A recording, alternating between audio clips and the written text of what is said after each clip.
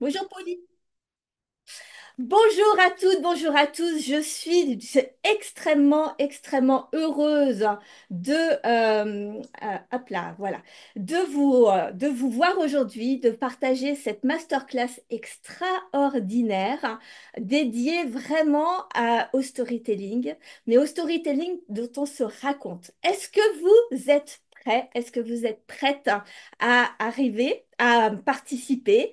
à, recevoir cette masterclass qui est un tournant extraordinaire dans ma vie d'entrepreneuse de cette entreprise aujourd'hui parce que finalement, c'est quelque chose que j'ai toujours vécu qui est euh, hyper important dans, dans ma vie et qui pour autant n'a pas toujours été compris par, euh, je m'organise en même temps, hop, euh, n'a pas toujours été compris par la plupart des gens. Et en fait, j'ai mis, coucou Pauline, j'ai mis des années, mais quand je dis des années, vraiment des années, à comprendre que ce que je faisais, ben en fait, peu de gens le font et, euh, et que c'était un talent juste extraordinaire. Donc, je suis en train d'organiser mes petites pages pour pouvoir vous voir et en même temps, hop, voilà, et en même temps pouvoir voir mes notes parce que j'en ai tout plein, tout plein, tout plein. Euh, et c'est euh, D'ailleurs, c'est, vraiment l'introduction que je voudrais faire. hein. Je le dis tout le temps, je le dis tout le temps depuis sept ans, parce que c'est vraiment quelque chose que je constate jour après jour, après jour, après jour. C'est on ne sait pas ce qu'on ne sait pas. Moi, je n'ai jamais su que j'avais ce talent extraordinaire d'a- d'avoir cette capacité à transformer ma vision du monde, à transformer ma vision de ma vie, à transformer euh, ce que je, ce que je pouvais vivre, mes souvenirs, euh, euh, tout en fait, toute ma vie et de le mettre sous un prisme qui est juste extraordinaire.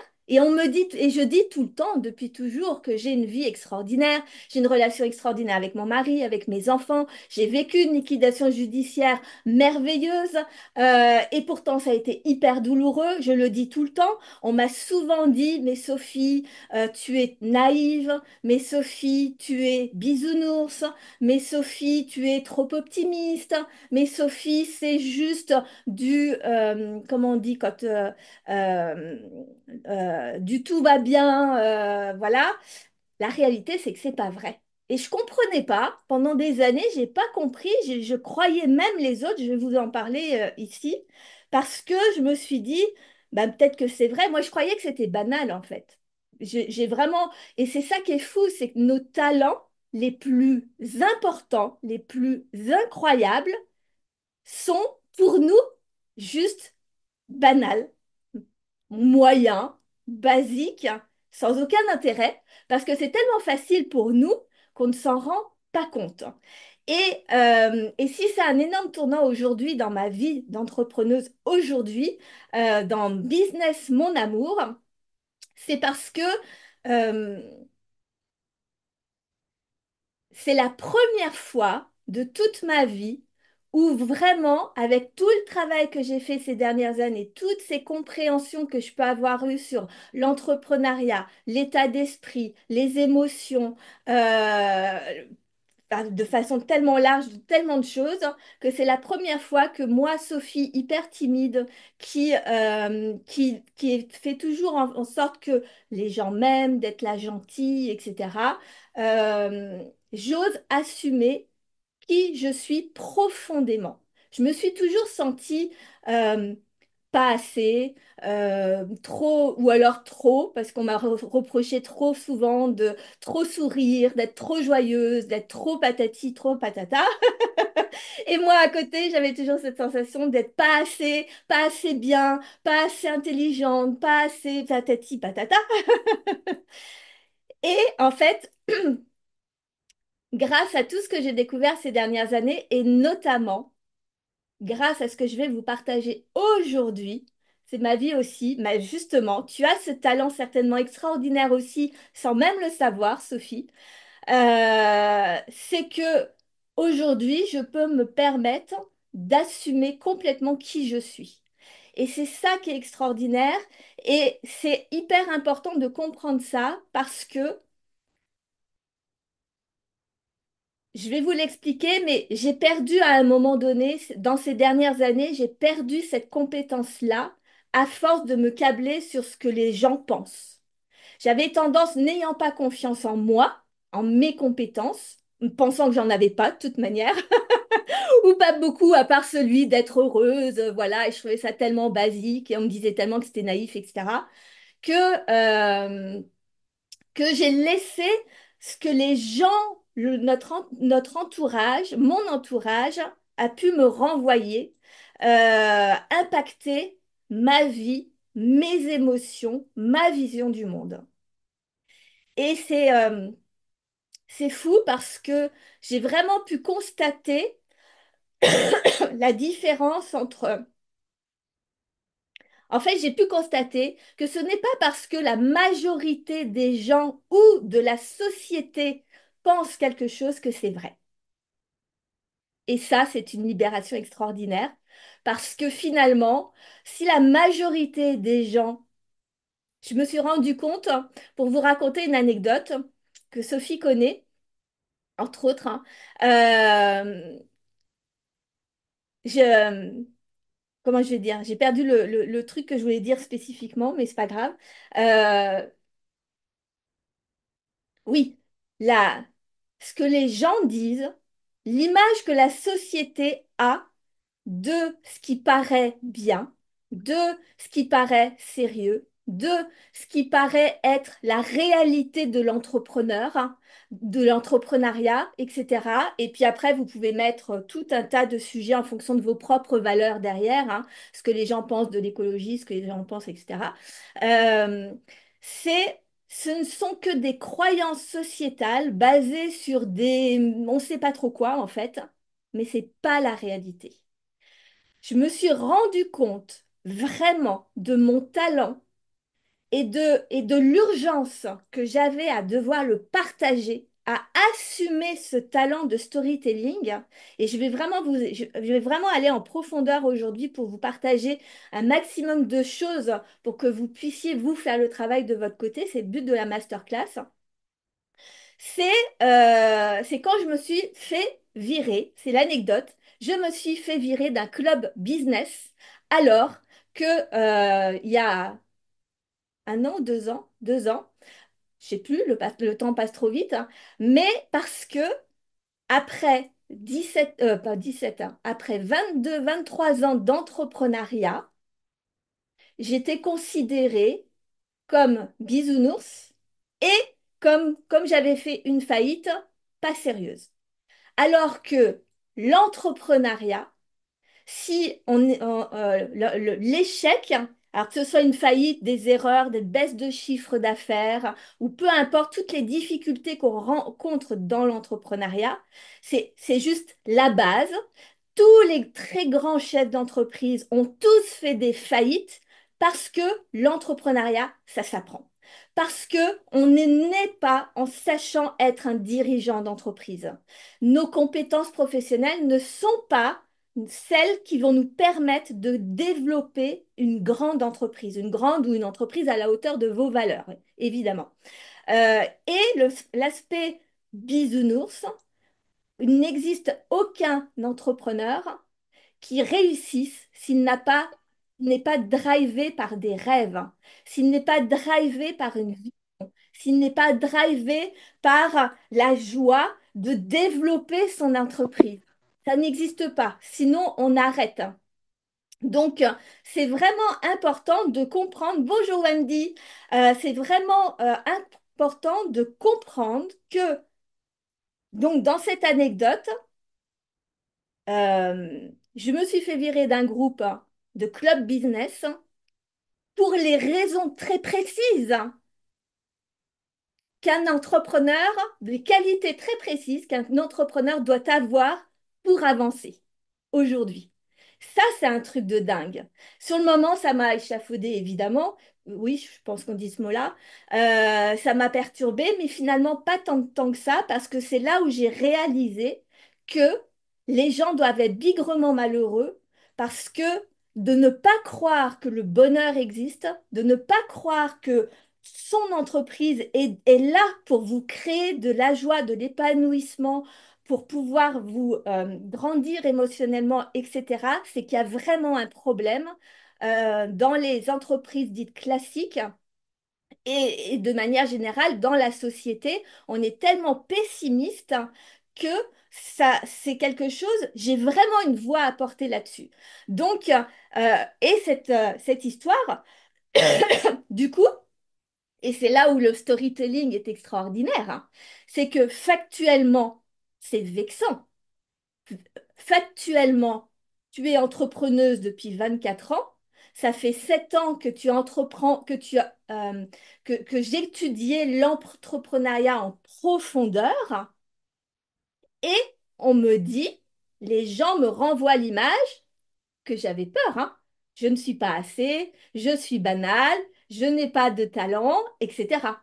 Donc, j'aurais vraiment pu me dire à ce moment-là, bah, en fait, il valide ce que je pouvais penser moi à une période de ma vie.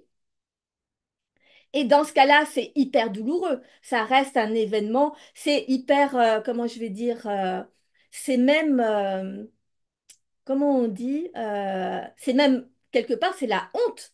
Parce que ça a été fait, tout le monde le savait, c'est un groupe d'une vingtaine de personnes. Euh, c'est, j'accompagne les entrepreneurs, les dirigeants d'entreprise. Donc, clairement, il y a un affront par rapport à mes compétences, qu'ils ne connaissent pas puisqu'ils ne les ont pas exploitées. Donc, euh, euh, ça aurait pu laisser une trace émotionnelle, personnelle très importante. Et c'est ça qu'on va voir aujourd'hui. C'est là où tout l'intérêt euh, du storytelling vient impacter votre euh, vie, parce que cette histoire-là, factuellement, il y a eu des, il y a des faits émotionnels désagréables, honteux, euh, qui raniment des blessures personnelles, mais moi, je l'ai vu sous un autre prisme. Je me suis rendu compte, en prenant du recul, en prenant de la hauteur, je n'invente rien.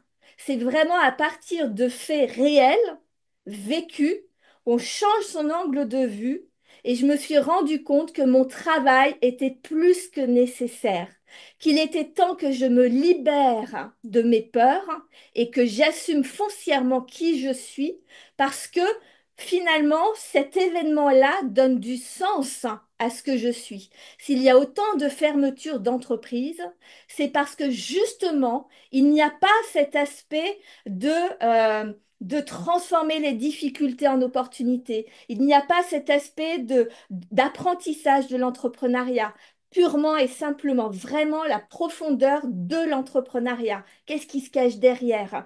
Euh, il n'y a, enfin voilà, il y a tout un tas, mais j'ai un pan de travail extraordinaire. Et ça, c'est ce que moi, je retiens de mon histoire, de cette histoire. Émotionnellement dans mon corps, si été restée sur la première version, ça aurait été une blessure, vraiment, je pense qu'elle aurait pu rester pendant des années. Parce qu'on n'aime pas être ridiculisé. On n'aime pas être pris pour euh, moins que rien. Et la réalité, c'est que moi, ça m'a renforcé dans mon estime de soi. Ça m'a renforcé dans ma légitimité. Parce que ma vision du monde n'est pas celle de tout le monde. Et ça, c'est extraordinaire. Est-ce que vous, percevez un petit peu le début de l'énergie que je veux vous transmettre? Est-ce que vous commencez un peu à percevoir vous-même des choses ou des événements comme ça que vous avez eus et que vous avez réussi, malgré le regard des autres, à, renverser la vapeur? Dites-moi dans les commentaires, je serais très, très, très heureuse de voir ça. Donc, donc c'est euh, c'est important de, de comprendre qu'on ne sait pas ce qu'on ne sait pas. Mais la vie nous apporte des événements pour nous montrer ça. Donc cette- ce talent extraordinaire que j'ose partager dans cette masterclass, cette masterclass à elle-même, elle résume toute ma vie. parce que j'ai toujours été comme ça.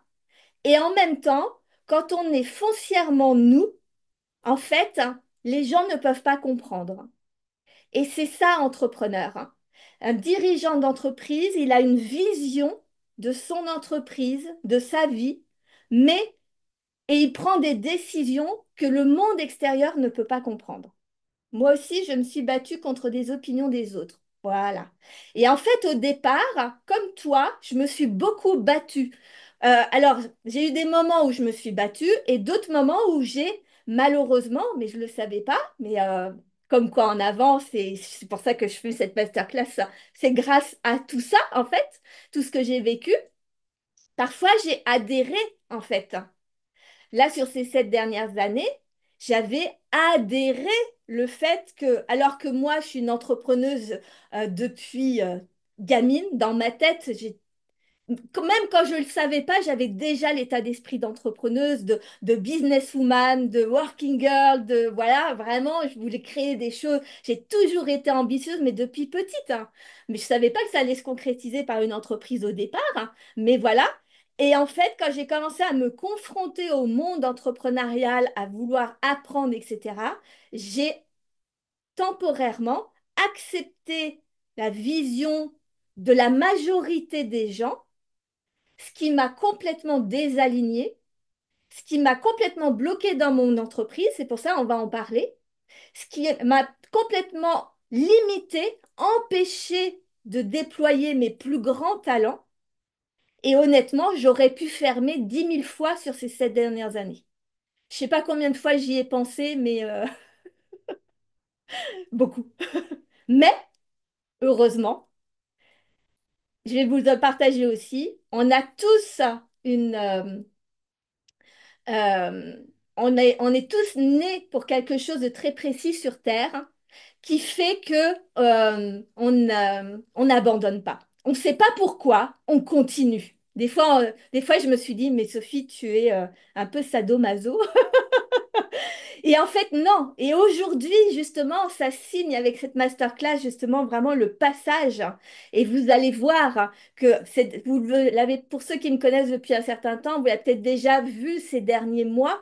Euh, mais vraiment, il y a eu une évolution énorme hein, depuis un ou deux ans. Mais là, l'évolution sur les semaines et mois à venir va être tellement dingue parce que ça y est, j'ai fini cette période d'apprentissage.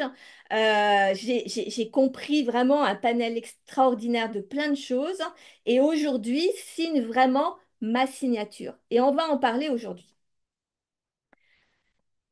Ce que je voulais, euh, juste avant d'aborder donc cette masterclass qui est comment transformer l'histoire que tu te racontes pour te créer une vie et une entreprise extraordinaire dès aujourd'hui, c'est-à-dire qu'en fo- fonction de, vous pouvez changer votre vision de votre monde et de votre entreprise euh, instantanément, en fait, en changeant d'histoire. Ça, c'est un truc extraordinaire. C'est le but de cette, euh, de cette masterclass. Donc, soyez prêts. hein. On en a au moins pour une heure et demie, deux heures, au moins. Euh, si vous devez partir en cours de route, je ne vous en voudrais pas. Je comprends, mais je vais vous donner un maximum de choses. Par contre, regardez le replay. Euh, finissez avec le replay. Et ce que je voulais vraiment vous préciser avant d'attaquer réellement la masterclass, c'est comment vivre au mieux mes enseignements. C'est la première fois, c'est vous écoutez la masterclass ou mes lives ou même dans tout ce que j'ai offert, hein, dans tout ce que j'offre au quotidien, toutes les masterclass, toutes les conférences de, euh, de l'été TTPE dans Révolutionne ta TPE, euh, c'est la même chose. Je donne beaucoup d'enseignements. Par contre, sachez que c'est très subtil. C'est-à-dire que la réalité, c'est que je ne vous dis pas des choses extraordinairement qui sortent de nulle part et que vous ne connaissez pas. Pas du tout. La réalité, c'est que vous savez déjà tout. Et c'est ça qui est dingue. Et c'est ce que j'ai pu découvrir sur moi. Et ça, c'est une chose que vous ne savez pas. Personne ne le sait. Vous savez déjà tout. La seule chose, c'est que vous ne savez pas que vous savez.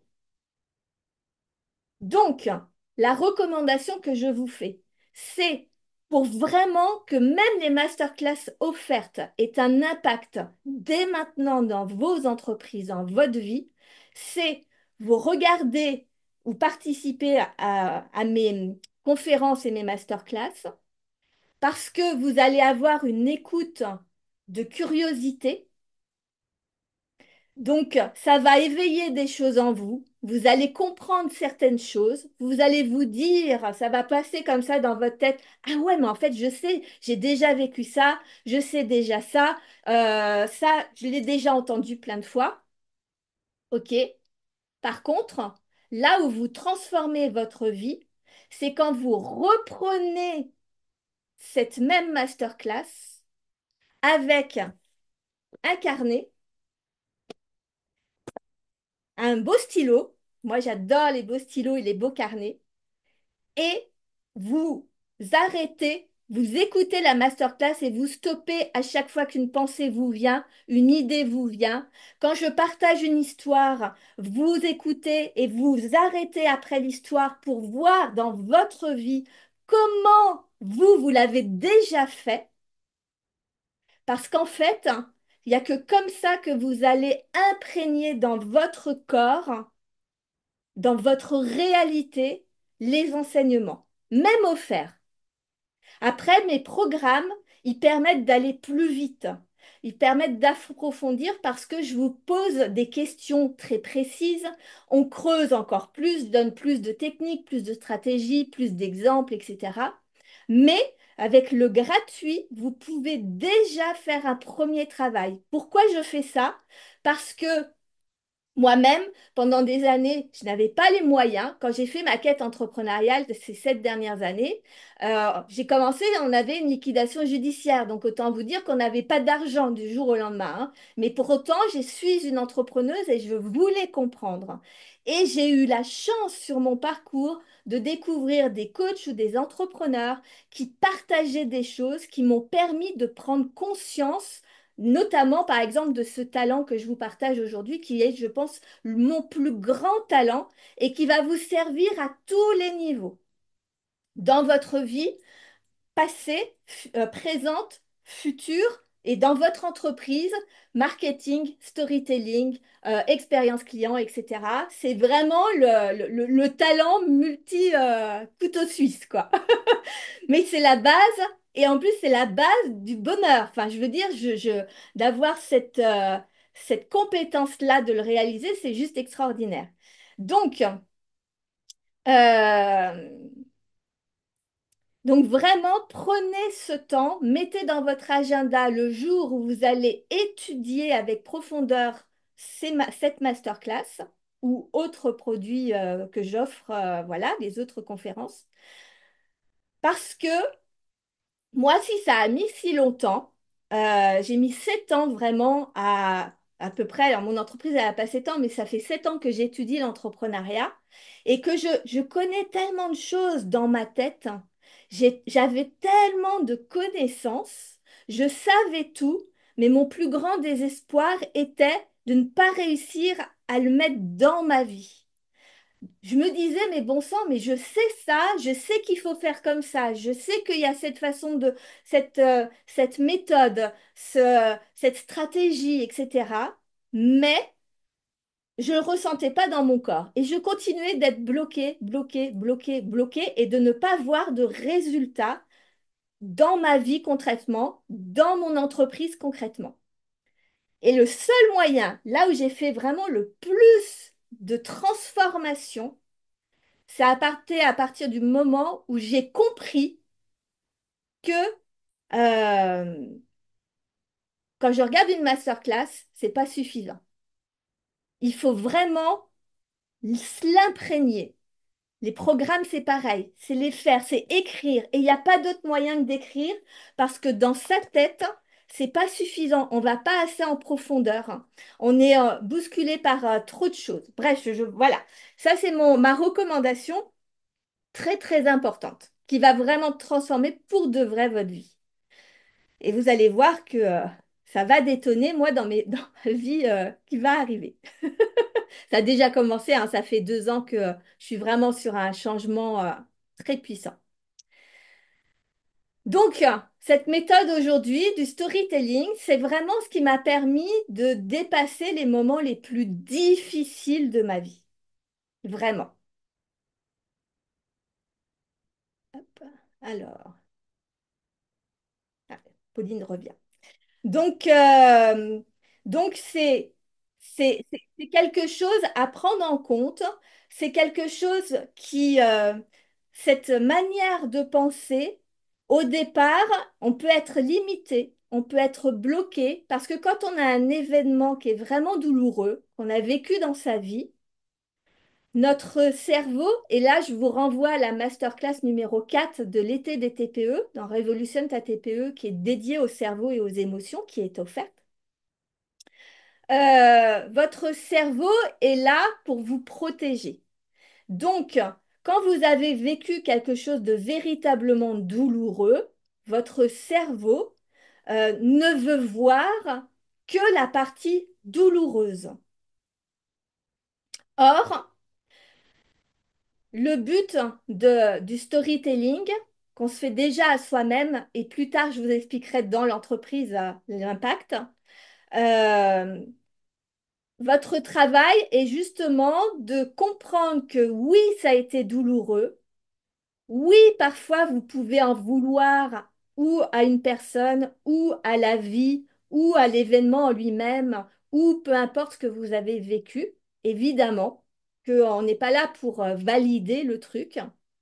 Par contre, le fait de continuer à voir cet, événement sous le prisme euh, de la douleur vous empêche d'avancer vous empêche d'aller voir la leçon que vous avez à- à- vous aviez à apprendre.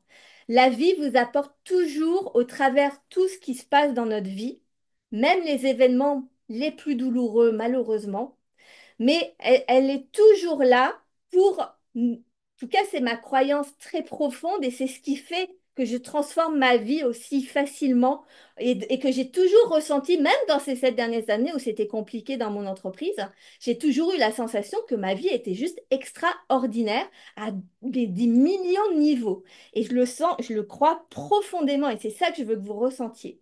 Et donc, du coup, euh, de voir l'événement d'accepter qu'il a eu lieu, de, voir effectivement toute la douleur que ça a pu vous apporter, mais de prendre du recul dessus en allant voir vraiment, quand c'est un événement qui est lointain dans sa vie, quelles ont été les conséquences derrière qui ont fait que ça a transformé votre vie, ce qui vous a construit aujourd'hui.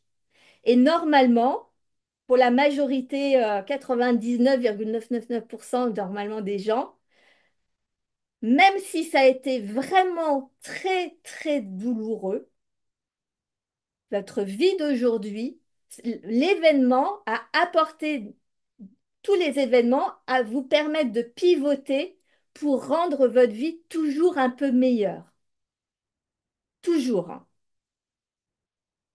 Parce que ça vous a permis de rebondir, ça vous a permis d'être plus responsable pour certaines choses, ça vous a permis de euh, vous séparer peut-être de personnes toxiques dans votre vie, ça vous a permis de découvrir quelle force intérieure vous avez, euh, de découvrir des talents que vous avez que vous n'aviez pas vus, ça vous a permis peut-être de je dis n'importe quoi, changer de ville, changer de pays, et que ça vous a fait rencontrer ensuite des personnes absolument extraordinaires. Ça vous a permis de changer de travail alors que vous étiez en train de, désespérer peut-être, et d'un coup, ça vous a permis euh, peut-être de rencontrer l'amour de votre vie. Ça vous a peut-être permis de prendre des décisions. Peu importe, en fait. La vie est faite, la vie est hyper équilibrée. Il y a toujours, toujours, toujours une partie sombre et une partie lumière. Il y a toujours la nuit et le jour. On ne se pose pas de questions, il y a les deux. Il y a toujours le yin et le yang, le noir, le blanc, tout le temps. Il y a des nuances de gris, évidemment, Parfois, on n'arrive pas à passer du noir au blanc. Au fur et à mesure, vous passerez par des petites périodes de gris parce que ça nous demande de passer au-dessus de notre ego. Ce que je vous disais tout à l'heure par rapport au club business, ça me demande de lâcher mon ego en fait, de me dire j'en ai rien à faire finalement de ce qu'ils pensent eux, parce que ce n'est pas eux qui vivent ma vie. Ils ne se rendent pas compte que ce que eux me reprochent, c'est ça qui va, qui me rend le plus heureuse au monde, moi. Et c'est très exactement ces qualités qui vont faire que aujourd'hui je déploie enfin ma businesswoman et que je vais développer une entreprise de dingue. Mais eux, dans 2, 3, 4, 5 ans, 10 ans, ils seront peut-être toujours au même niveau. Ou peut-être qu'eux aussi, ils auront développé une entreprise de dingue. Mais en fait, on s'en fout parce que chacun sa vie. Mais ça m'a demandé de passer au-dessus de mon ego. De ne pas garder la, colère, le ressentiment, le, comment je vais dire, euh, la honte aussi. Euh, enfin voilà, toutes ces émotions euh, de, qui sont liées au regard des autres, hein, qui, qui sont hyper douloureuses et de réussir. Et ça, ça demande de l'entraînement. Ça, c'est ce qu'on va faire pendant le programme. Vraiment. Le programme, je vous en parlerai un peu plus à la fin de, à la fin de, de, la masterclass, mais on a un mois vraiment où on va apprendre ça, dépasser cet ego, dépasser ce, ce regard des autres qui nous pourrit la vie. Est-ce que ça vous parle? Est-ce que vous commencez à, repérer des petites choses dans votre vie?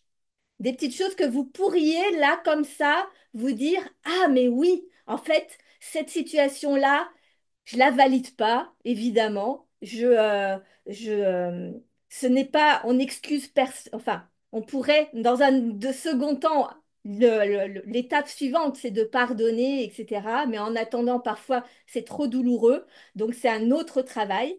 Mais d'accepter d'avoir vécu cette chose douloureuse et de reconnaître, d'accepter l'idée qu'elle vous a apporté quelque chose dans votre vie de positif.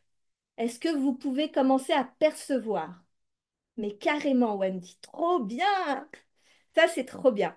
Parce que quand vous commencez à accepter l'idée éventuelle d'ouvrir le prisme, malgré la rancœur, malgré le, ressentiment, malgré la douleur,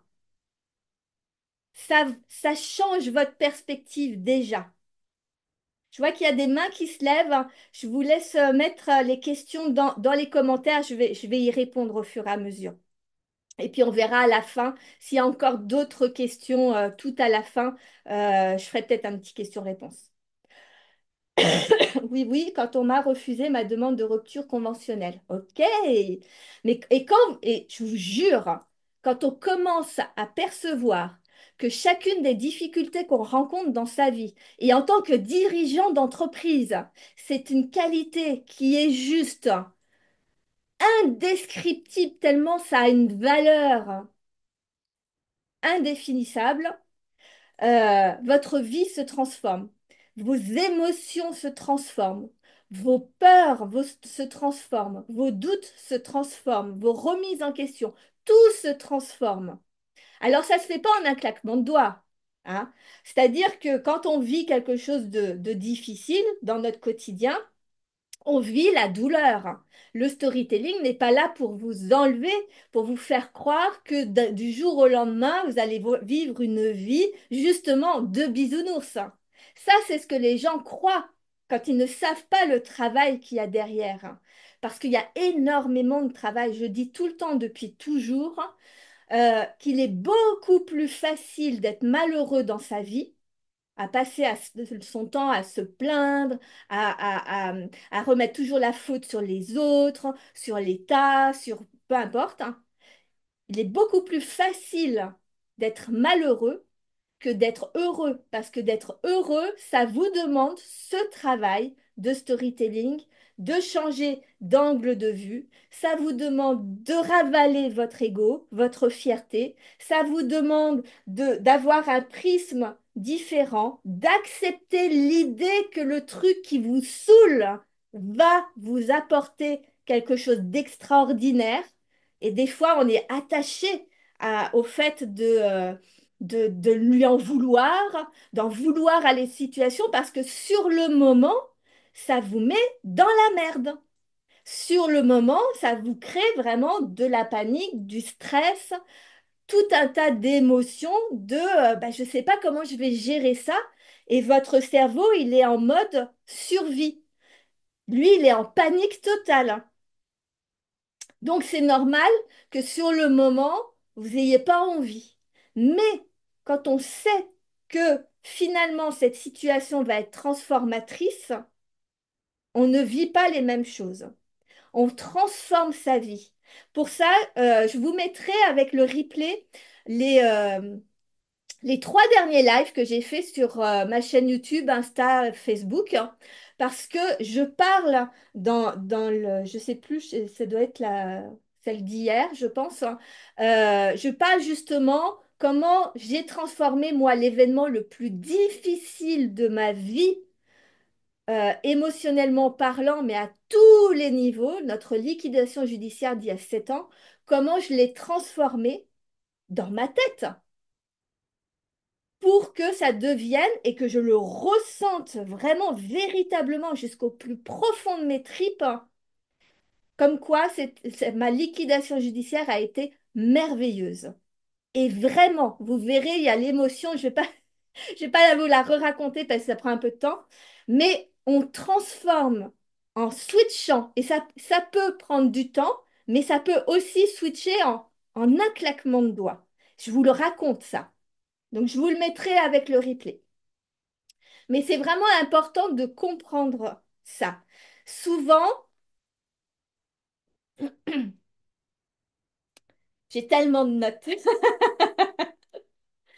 oh, j'ai tellement de choses à vous raconter. Euh, et si vous prenez le programme, ne croyez pas que j'aurai pas grand-chose à dire. Hein. Bien au contraire, on va aller approfondir tout ça. Euh,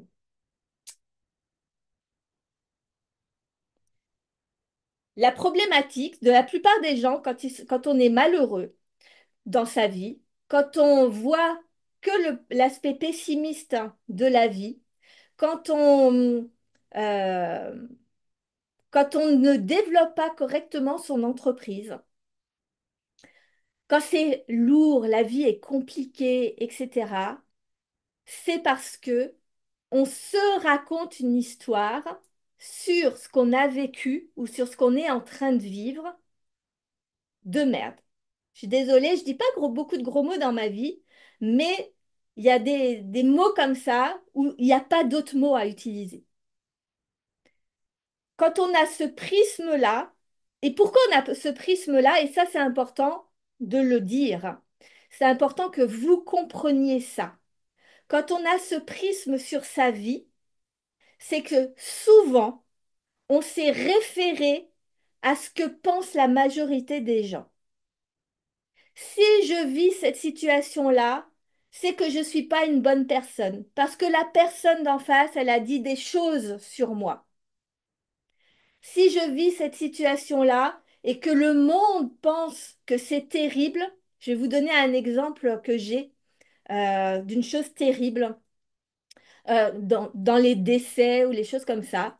Euh, comme le monde entier pense que c'est quelque chose de terrible, je vis quelque chose de terrible. J'ai une de mes meilleures amies pour illustrer ça, donc je ne vais pas prendre mon exemple à moi, Là, je vais prendre, euh, je ne pensais pas vous le dire, mais euh, je trouve que c'est un très, très, très bon exemple. J'en ai deux. J'en ai deux sur euh, les décès. Parce que ce qui est difficile, souvent, c'est aussi les événements de la vie catastrophiques. Les décès, les maladies ou les choses comme ça. Alors bien sûr, je suis pas là, moi ici, je suis vraiment une entrepreneuse et je vous partage ma philosophie de vie qui rend ma vie heureuse et qui me rend inarrêtable, quels que soient mes résultats, dans mon entreprise, dans le fait que je suis une entrepreneuse dans l'âme. Après, euh, j'accompagne, j'ai quelques techniques de coaching, je, connais énormément de plein de choses autour des émotions. Moi-même, j'ai dépassé, j'ai failli tomber dans le, dans une dépression, mais je l'ai refusé. Donc, j'ai- je suis mon propre cobaye de plein de choses. Mais on est clair que je ne suis pas psychologue, je ne suis pas thérapeute, je ne suis pas euh, psychiatre, etc. Donc voilà. Et je ne suis pas là pour dire que les événements que vous avez vécus dans votre vie ne sont pas graves. Pas du tout. Surtout, ne déformez pas les choses. Par contre, toujours dans cette idée de on peut changer un peu malgré la douleur, on peut changer un peu le prisme. Parce que ce qui est important dans la vie, c'est comment vous vous sentez dans votre corps. Parce que le bonheur, c'est pas un statut social. Le bonheur, c'est pas l'argent. Le bonheur, c'est pas parce que vous avez, euh, je sais pas, une grosse voiture ou que vous voyagez beaucoup, ou une belle maison ou même, même l'amour. Je veux dire, on n'est même pas obligé d'avoir, euh, d'être heureux, d'avoir un couple, d'avoir des enfants ou autre pour être heureux. Le vrai bonheur, la vraie liberté, c'est ce qu'on ressent dans son corps. Vous voyez ce que je veux dire? Donc, et ce qu'on ressent dans son corps, c'est de votre responsabilité de le transformer. Parfois, on peut le faire en un claquement de doigts, et parfois, ça peut prendre des années. Et c'est pas grave en fait. C'est l'intention qui compte. Et quand vous transformez vos émotions à l'intérieur de votre corps, vous transformez votre, euh, comment je euh, votre estime de soi, votre confiance en vous, vos actions et du coup vos résultats, qu'ils soient personnels ou professionnels. Tout se transforme à partir de ce que vous ressentez dans le corps. Donc, j'ai ma meilleure amie, l'une de mes meilleures amies. Euh, ça fait, euh, bah, ça fait quasiment sept ans qu'on se connaît parce que euh, quand j'ai commencé à, me lancer sur les réseaux, je crois que j'avais pas encore créé mon entreprise officiellement à ce moment-là. Mais par contre, j'ai commencé à étudier l'entrepreneuriat, à comprendre tout un tas de choses. Quand je me suis lancée sur les réseaux, elle, donc moi, je suis dans, à Moulins, dans le centre de la France, dans l'Allier. Et elle, elle, euh, on s'était rencontrés lors d'une formation, d'un programme, et euh, elle, est sur Toulouse. Et en fait, à l'époque, j'avais déjà compris qu'on ne peut pas entreprendre tout seul. On ne peut pas être. C'est pour ça que j'ai créé le euh, Révolution ta TPE, le canal Telegram, où vous avez la possibilité de partager ben, toutes vos victoires quand vous en avez, mais surtout, et c'est là où c'est important, toutes vos difficultés toutes vos peurs, vos hontes, ce qui est compliqué, etc., pour que vous puissiez le partager, l'extérioriser et ensuite être soutenu par les autres membres parce que ça fait partie du chemin entrepreneurial. Or, la société nous fait croire que ce sont des choses qui sont honteuses. Quand c'est difficile, quand on ne fait pas de chiffre d'affaires, quand on ne sait pas vendre, quand on ne vend pas, quand on ne développe pas son chiffre d'affaires, quand on va pour fermer son entreprise ou peu importe euh, les difficultés, ça fait partie du chemin du, du dirigeant d'entreprise. C'est normal. Mais pour la société, c'est quelque chose de honteux, particulièrement en France. Donc, il y a cet espace pour qui, est là pour vous, pour vous accompagner. Parce que ce qu'il faut comprendre, c'est que plus vous dédramatisez tout ce que vous vivez dans votre quotidien, d'entrepreneur et dans votre vie en général, c'est là le storytelling qui est important, euh, mais pas que. Euh, plus vous gardez d'énergie pour rebondir, pour développer, pour dépasser vos peurs, pour oser faire des choses extraordinaires, pour assumer des choses que le reste du monde ne comprend pas, mais vous, vous savez pourquoi vous le faites parce que vous avez une vision hyper claire. etc., etc. Donc, du coup, j'avais déjà compris ça. Donc, au départ, moi, j'ai travaillé pendant 17 ans avec mon mari. Euh, donc, on était déjà à deux. Euh, après, quand on est dans la... Et, et ça a été extraordinaire. Je pense que je ferai un... Un jour, je pense que je ferai un programme pour les couples euh, entrepreneurs parce que franchement, c'est... euh, ça peut être un cauchemar, mais ça peut être tellement extraordinaire. Moi, j'ai vécu des choses extraordinaires avec mon mari. Mais par contre, comme on est dans la même entreprise, souvent, on n'a pas le prisme. On a plus de mal peut-être avec l'émotionnel, financier, etc. On a plus de mal à, sortir euh, à prendre du recul. Donc du coup, euh, c'est pour ça que j'ai voulu aussi créer une entreprise pour moi-même. Et, euh, et donc du coup, avec cette amie, on avait créé un groupe. Donc il y avait elle qui était à Toulouse et on avait deux autres amis euh, en Belgique. Et on se croise, on se voyait toutes les semaines sur Zoom, en visioconférence comme là. Euh, et euh, pendant au moins, euh, bon, on a arrêté que l'année dernière, donc ça fait pendant au moins cinq ou six ans toutes les semaines pour se soutenir. Et, donc mon amie, malheureusement, il y a deux ans, a perdu son mari. Donc mon amie est très jeune, elle a une quarantaine d'années, et son mari est décédé du jour au lendemain. C'est euh, brutal, c'est euh, une catastrophe, c'est un tremblement de terre, un tsunami qui arrive comme ça sur... euh, je n'imagine même pas, moi, si je perdais mon mari. Je. Enfin voilà. Et j'ai des frissons partout parce que ça m'émotionne. Et mon amie a été tellement incroyable et inspirante parce qu'elle a elle connaît ce- cette technique de storytelling. Alors évidemment, la douleur est là, le deuil, toute la, colère, l'incompréhension du moment, évidemment, c'est là, c'est normal et il faut le vivre. Il faut surtout vivre ces émotions parce que toutes nos émotions, elles ont un message. Elles sont là pour nous transmettre quelque chose. Elles sont là pour être vécues parce que c'est quand elles sont pas vécues que ça devient une blessure douloureuse qu'on rumine, qu'on rumine, qu'on rumine, qu'on rumine et qu'on ne guérit pas. Donc, elle vit son deuil pendant quelques mois. Son mari est décédé en octobre. Je crois que c'est en octobre. Et dès le mois de janvier de la, qui a suivi, donc trois mois plus tard, elle a commencé à paraître heureuse aux yeux des autres. C'est-à-dire que elle, elle avait bien compris, elle a- elle avait la douleur qui est toujours présente là aujourd'hui, évidemment, mais elle a pu vraiment faire le travail pour de ce fait incontrôlable auquel personne ne s'attendait parce qu'il n'était pas malade, il était en hyper bonne santé.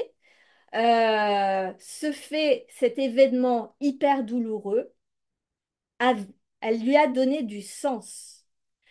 Elle a utilisé ça pour se donner plus de force.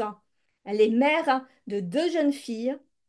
Du coup, elle devient mère toute seule, euh, à élever ses deux filles, euh, avec une entreprise euh, à gérer. Et elle a utilisé ça pour donner encore le plus de meilleur à ses filles, à son entreprise, pour déployer encore plus de force, mais pas dans le sens triste, dans le sens euh, revanchard ou dans le sens, euh, vous voyez, euh, euh, avec du ressentiment, de la haine pour la vie, mais vraiment en se disant, OK, bon, cette situation, elle est terrible, mais si ça se trouve, c'est un message de la vie.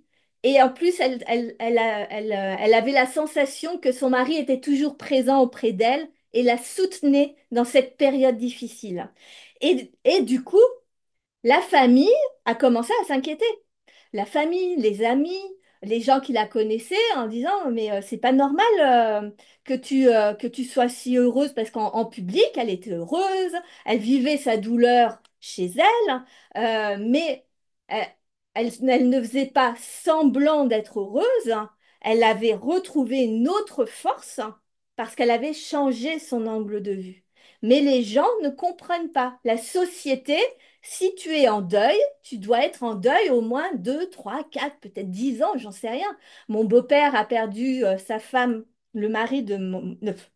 le, le papa de mon mari euh, a perdu sa, avait perdu sa femme il y a 30 ans. Pendant 30 ans, il a été malheureux comme les pierres, aigri, désagréable, il s'est pas bien occupé de ses enfants, etc. Pourquoi faire? La douleur est présente, mais ça n'empêche pas de revivre. Donc, c'est euh, c'est important de comprendre ça. Et donc, du coup, d'ailleurs, l'autre histoire que je voulais vous raconter, c'était justement mon mari euh, qui a perdu sa mère, donc jeune. Il devait avoir seize 16 ans, je crois.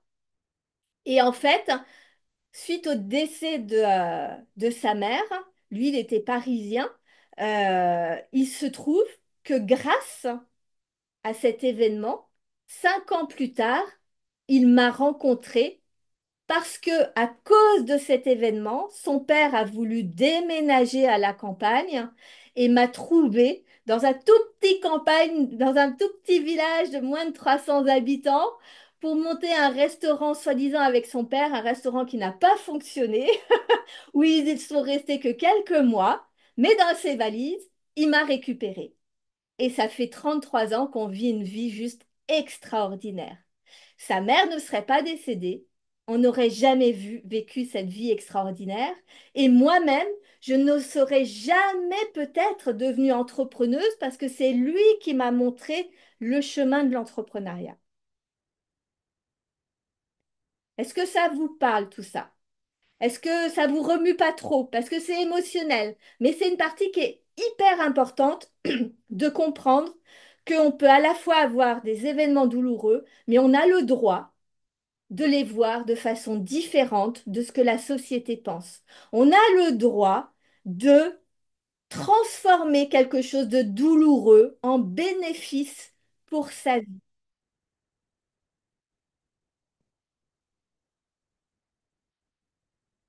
Donc, euh, n'hésitez pas à commenter en même temps. Et puis comme ça, en même temps, je vous réponds à toutes vos questions. N'hésitez pas que vous repartiez vraiment avec un maximum de choses. Donc, la plupart du temps, quand on est... euh, la souffrance vient vraiment de l'histoire qu'on se raconte dans notre tête et ce qu'on valide de ce que les gens autour de nous pensent, de nous ou de notre histoire.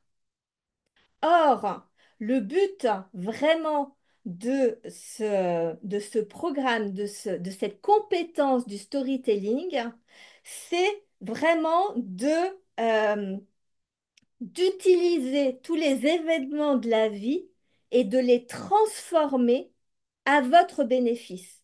Et ce n'est pas quelque chose de, euh, comment je vais dire, de déloyal. Ce n'est pas quelque chose où vous validez. Évidemment qu'on ne va pas valider le décès d'un être cher ou une maladie qui, qui, arrive euh, et euh, qui, qui nous crée énormément de peur ou je ne sais pas quoi. Ça, c'est votre travail, c'est que ça donne du sens à vous. Personne ne peut donner de sens à ce que vous vivez. C'est à vous de faire ce travail-là et d'accepter les deux polarités. Et plus vous acceptez ce genre de choses, plus ça vous permet de devenir fort émotionnellement et en même temps d'être très sensible à ce que vous vivez. C'est-à-dire que on ne met pas un mouchoir sur une émotion. On ne met pas un mouchoir, on ne met pas sous le tapis un événement douloureux euh, ou une agression ou quelque chose de, euh, terrible. On ne met pas ça sous le tiroir. Par contre, on est là pour se dire, c'est pas cet événement-là qui va pourrir ma vie. C'est pas cette personne-là qui va me décider si je suis heureuse ou pas. C'est pas, ce- c'est pas l'extérieur qui va m'enlever mon droit et ma liberté de choisir comment moi je veux vivre ma vie. Et pour rendre les choses plus belles, on donne du sens aux choses. Si c'est un décès de ma maman qui m'a permis de prendre la vie du bon côté, voilà, de ne plus penser aux choses négatives et d'oser les choses. c'est ça. Alors l'idée, c'est pas forcément de ne plus penser aux choses négatives, mais par contre, au fur et à mesure, on apprend à les accepter. Parce que le truc, c'est que par contre, le corps, il est fait d'une certaine façon que si on, si on, on s'auto-convainc que, euh, que c'est bien, mais que dans le fond, euh, c'est quelque chose qui reste terrible, le corps, c'est là où il commence à, à créer des maladies ou à ou euh, à, comment je vais dire, à créer une dépression ou à se sentir désaligné. Par exemple, si on a un travail euh, qui ne nous plaît pas du tout, mais qu'on arrive à trouver, parce qu'on est très fort, hein, quand on est dans cette possibilité-là, et moi j'ai connu ça, par exemple, hyper positive tout le temps. je pouvais tout transformer, etc. Et donc, du coup, parfois, je ne m'étais pas rendu compte, et c'est là où c'est très subtil, hein, c'est que parfois, je ne m'étais pas rendu compte que je me mentais à moi-même. Et donc, j'acceptais des situations en me disant, bah, c'est pas grave parce que je peux le transformer, je peux le voir de telle ou telle ou telle façon. Mais parfois, c'est des situations qu'il vaut mieux couper, arrêter et vraiment passer à autre chose. hein.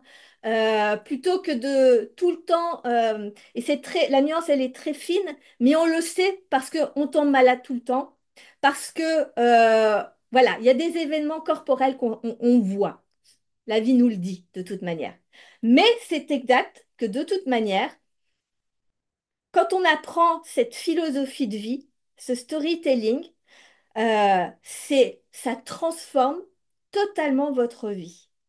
Moi, j'ai commencé ma vie en étant pas jolie. J'avais des dents très, très, très en avant. Donc, j'étais harcelée à l'école parce qu'on se moquait tout le temps de moi. J'étais hyper timide parce que je voulais surtout pas que les gens me voient, parce que justement j'avais peur qu'on se moque de moi, etc. Donc euh, dès qu'on me parlait, c'était terrible, je devenais toute rouge, etc. Ça se voit plus évidemment, mais, euh, mais ça ressort, ça ressort dans certains moments quand même. Euh, mais voilà, ça, ça a été hyper, euh, hyper euh, handicapant pendant des années. J'ai, j'ai vécu vraiment, j'ai vécu des choses dans mon enfance euh, qui, l'acte en soi n'était pas traumatique, mais par contre, ça a mis mon état d'esprit en état d'hypervigilance. Parce que cet événement aurait pu être une catastrophe, ça ne l'a pas été, mais du coup, j'ai déclenché énormément de peur derrière. Peur de l'avenir, peur de ce qui pourrait se passer, peur de, de- des hommes, peur de, plein de choses en fait qui m'handicapent au- euh, euh, dans mon quotidien. Et cette, peur-là, elle s'est beaucoup, beaucoup, elle est beaucoup ressortie justement quand j'ai commencé à vouloir être visible sur les réseaux sociaux. Parce que mon inconscient ne voulait pas que je sois visible, ne voulait pas que je, que j'ose m'exposer. Et je parle pas forcément de m'exposer parce que des photos ou des choses comme ça, je l'ai déjà fait, mais c'est d'exposer qui j'étais profondément, notamment euh, ma vision du monde, notamment mon discours par rapport aux entrepreneurs, par, notamment ma personnalité, tout simplement, reconnaître qui je suis, euh, apprécier mon, euh, qui je suis sans avoir cette sensation d'être banale, etc. Bref, tout un tas de choses. Et toutes ces peurs, quand je me suis mise sur Internet, ont fait que euh, quand j'ai commencé mes lives, je pouvais mettre jusqu'à trois heures avant d'appuyer sur le bouton. Ça m'est arrivé, mais plein de fois, de mettre la matinée entière. Je me mets à 9 heures devant mon ordinateur pour faire un live sur Facebook. Je mets trois heures avant de réussir à appuyer sur le bouton. Imaginez la terreur. Mais je savais que c'était ça que je devais faire. Mais ça a été tellement douloureux et j'ai mis des années à comprendre que ça venait de ce phénomène que j'ai vécu, de cette chose que j'ai vécue quand j'étais gamine. Donc, c'est vraiment ce jeu de, voilà.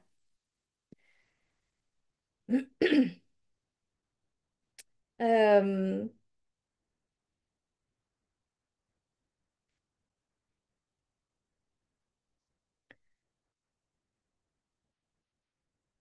que j'explique aussi, ce qui est important aussi de se rendre compte, c'est euh, c'est vous qui décidez de mettre de la magie dans votre vie. Moi, j'appelle ça de la magie. Après, vous mettez le mot que vous voulez. J'aime cette idée de vivre des choses juste extraordinaires. J'aime cette idée de transformer ma vision du monde.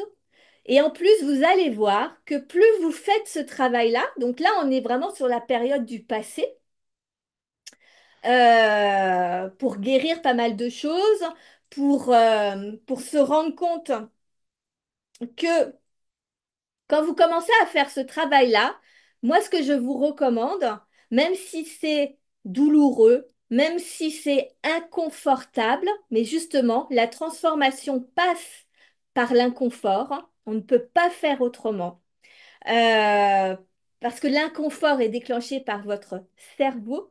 Donc, arriver à dissocier, ça c'est un travail aussi hein, que je vous explique hein, euh, régulièrement et notamment dans la conférence, euh, mes conférences de Révolution ta TPE, ce sont vraiment toutes les bases que, réunies que je vous offre, hein, sur lesquelles il faut que vous mettiez votre attention le plus possible.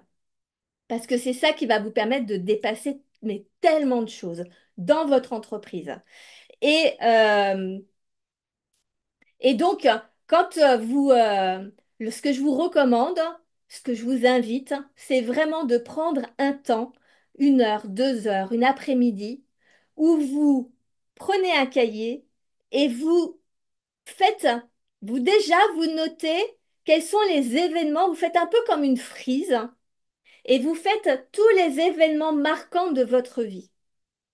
Déjà, première chose, pour que vous puissiez voir un peu qu'est-ce que, qu'est-ce qui a impacté votre vie. La plupart du temps, faites confiance. Donc, vous vous mettez une petite musique inspirante, quelque chose, peut-être des bougies, un environnement qui vous rassure, où vous êtes tranquille. Vraiment, vous faites quelque chose de, euh, vous, vous, vous ne pensez qu'à ça. Vous vous mettez dans une bulle et vous vous concentrez là-dessus. Et vous ne vous souciez pas de je me souviens pas trop, nanana, nanana. Ça va évoluer au fil des années. Vous allez avoir peut-être des souvenirs qui vont revenir ou pas. Euh, ce qui est important, c'est déjà de commencer par ce que, vous, ce que votre cerveau va vous remonter à la surface. Généralement, ce qu'il vous remonte à la surface, ce sont les bonnes choses. Vous ne posez pas la question. Donc, vous commencez à regarder ça et ensuite, observez chaque situation. Qu'est-ce que ça vous a apporté jusqu'à aujourd'hui? Et de cette façon-là, en faisant vraiment le travail sérieusement, euh, vous allez pouvoir vous raconter de nouvelles histoires sur votre vie vous allez vous rendre compte à quel point des choses qui vous semblaient peut-être horribles vont d'un coup prendre du sens sur l'ensemble de votre vie. Parce que parfois, moi par exemple, ce que j'ai vécu vraiment Gabine, euh, qui m'a fait si peur, finalement, ça a eu un effet pratiquement bah, que depuis sept ans j'ai pu vraiment comprendre en quoi ça a impacté ma vie depuis ces sept dernières années. Ça m'a obligée à creuser, à trouver des idées, à me dépasser, à, à, développer ma capacité à, observer à quel point c'était bon pour moi. Mais cette situation, pendant des années, je n'ai fait que des cauchemars. J'ai eu une période où euh, pendant plusieurs années, quand j'étais avec mon mari, ça n'avait rien à voir avec mon mari, je vous rassure, mais euh, quand je suis partie vivre avec mon mari, pendant... Euh, donc j'avais 18 ans tout pile, et je pense que pendant au moins 2-3 ouais, au moins 2-3 ans, peut-être un peu plus, je faisais régulièrement des cauchemars à cause de cet événement-là. Et j'avais, je me réveillais avec des émotions qui n'étaient pas agréables. Après, bon, euh, ça, n'impactait pas toute ma vie. Mais par contre, après, j'ai réussi à, à, vivre ma vie euh, sans, voilà, dans mon côté positif, etc. Je n'ai pas remarqué, je croyais que c'était fini et c'est revenu au moment des réseaux sociaux. Et je ne comprenais pas pourquoi j'étais bloquée sur les réseaux sociaux. D'ailleurs, je commence tout juste à avoir plus de vues. Je commence tout juste à avoir, euh, à, aller beaucoup plus facilement sur les réseaux sociaux aussi de façon plus authentique, sans avoir cette armure de protection euh, qui, euh, qui, qui m'empêche de, de rayonner, on va dire. Donc, donc c'est important. Donc, faites vraiment ce travail-là de observer sous quel angle de vue vous pouvez trouver les bénéfices que vous ont apportés les, différents événements de votre vie. Et petit à petit, vous verrez que du coup, quelque part, inconsciemment, au fur et à mesure, alors parfois ça va être en un claquement de doigts, mais parfois ça met plus longtemps, mais petit à petit, il y a des douleurs qui vont s'estomper, qui vont guérir. Et vous aurez la sensation de vivre, d'avoir une vie qui est juste extraordinaire, qui est dingue, et vous allez vous rendre compte au fur et à mesure que vous allez passer par une période au fur et à mesure de, je suis en train de, dans votre présent, de savoir intellectuellement que quand vous vivez une merde, c'est pas si grave parce qu'il y aura quelque chose de bon derrière.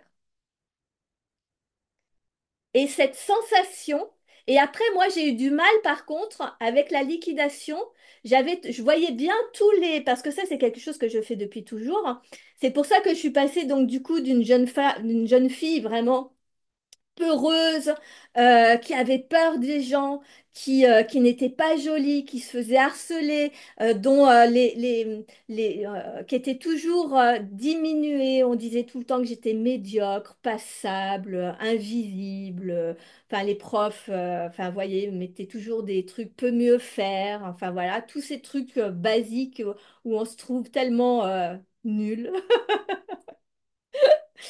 à, au fur et à mesure, de réussir à mettre le point sur la table en disant non, je ne serai plus harcelée.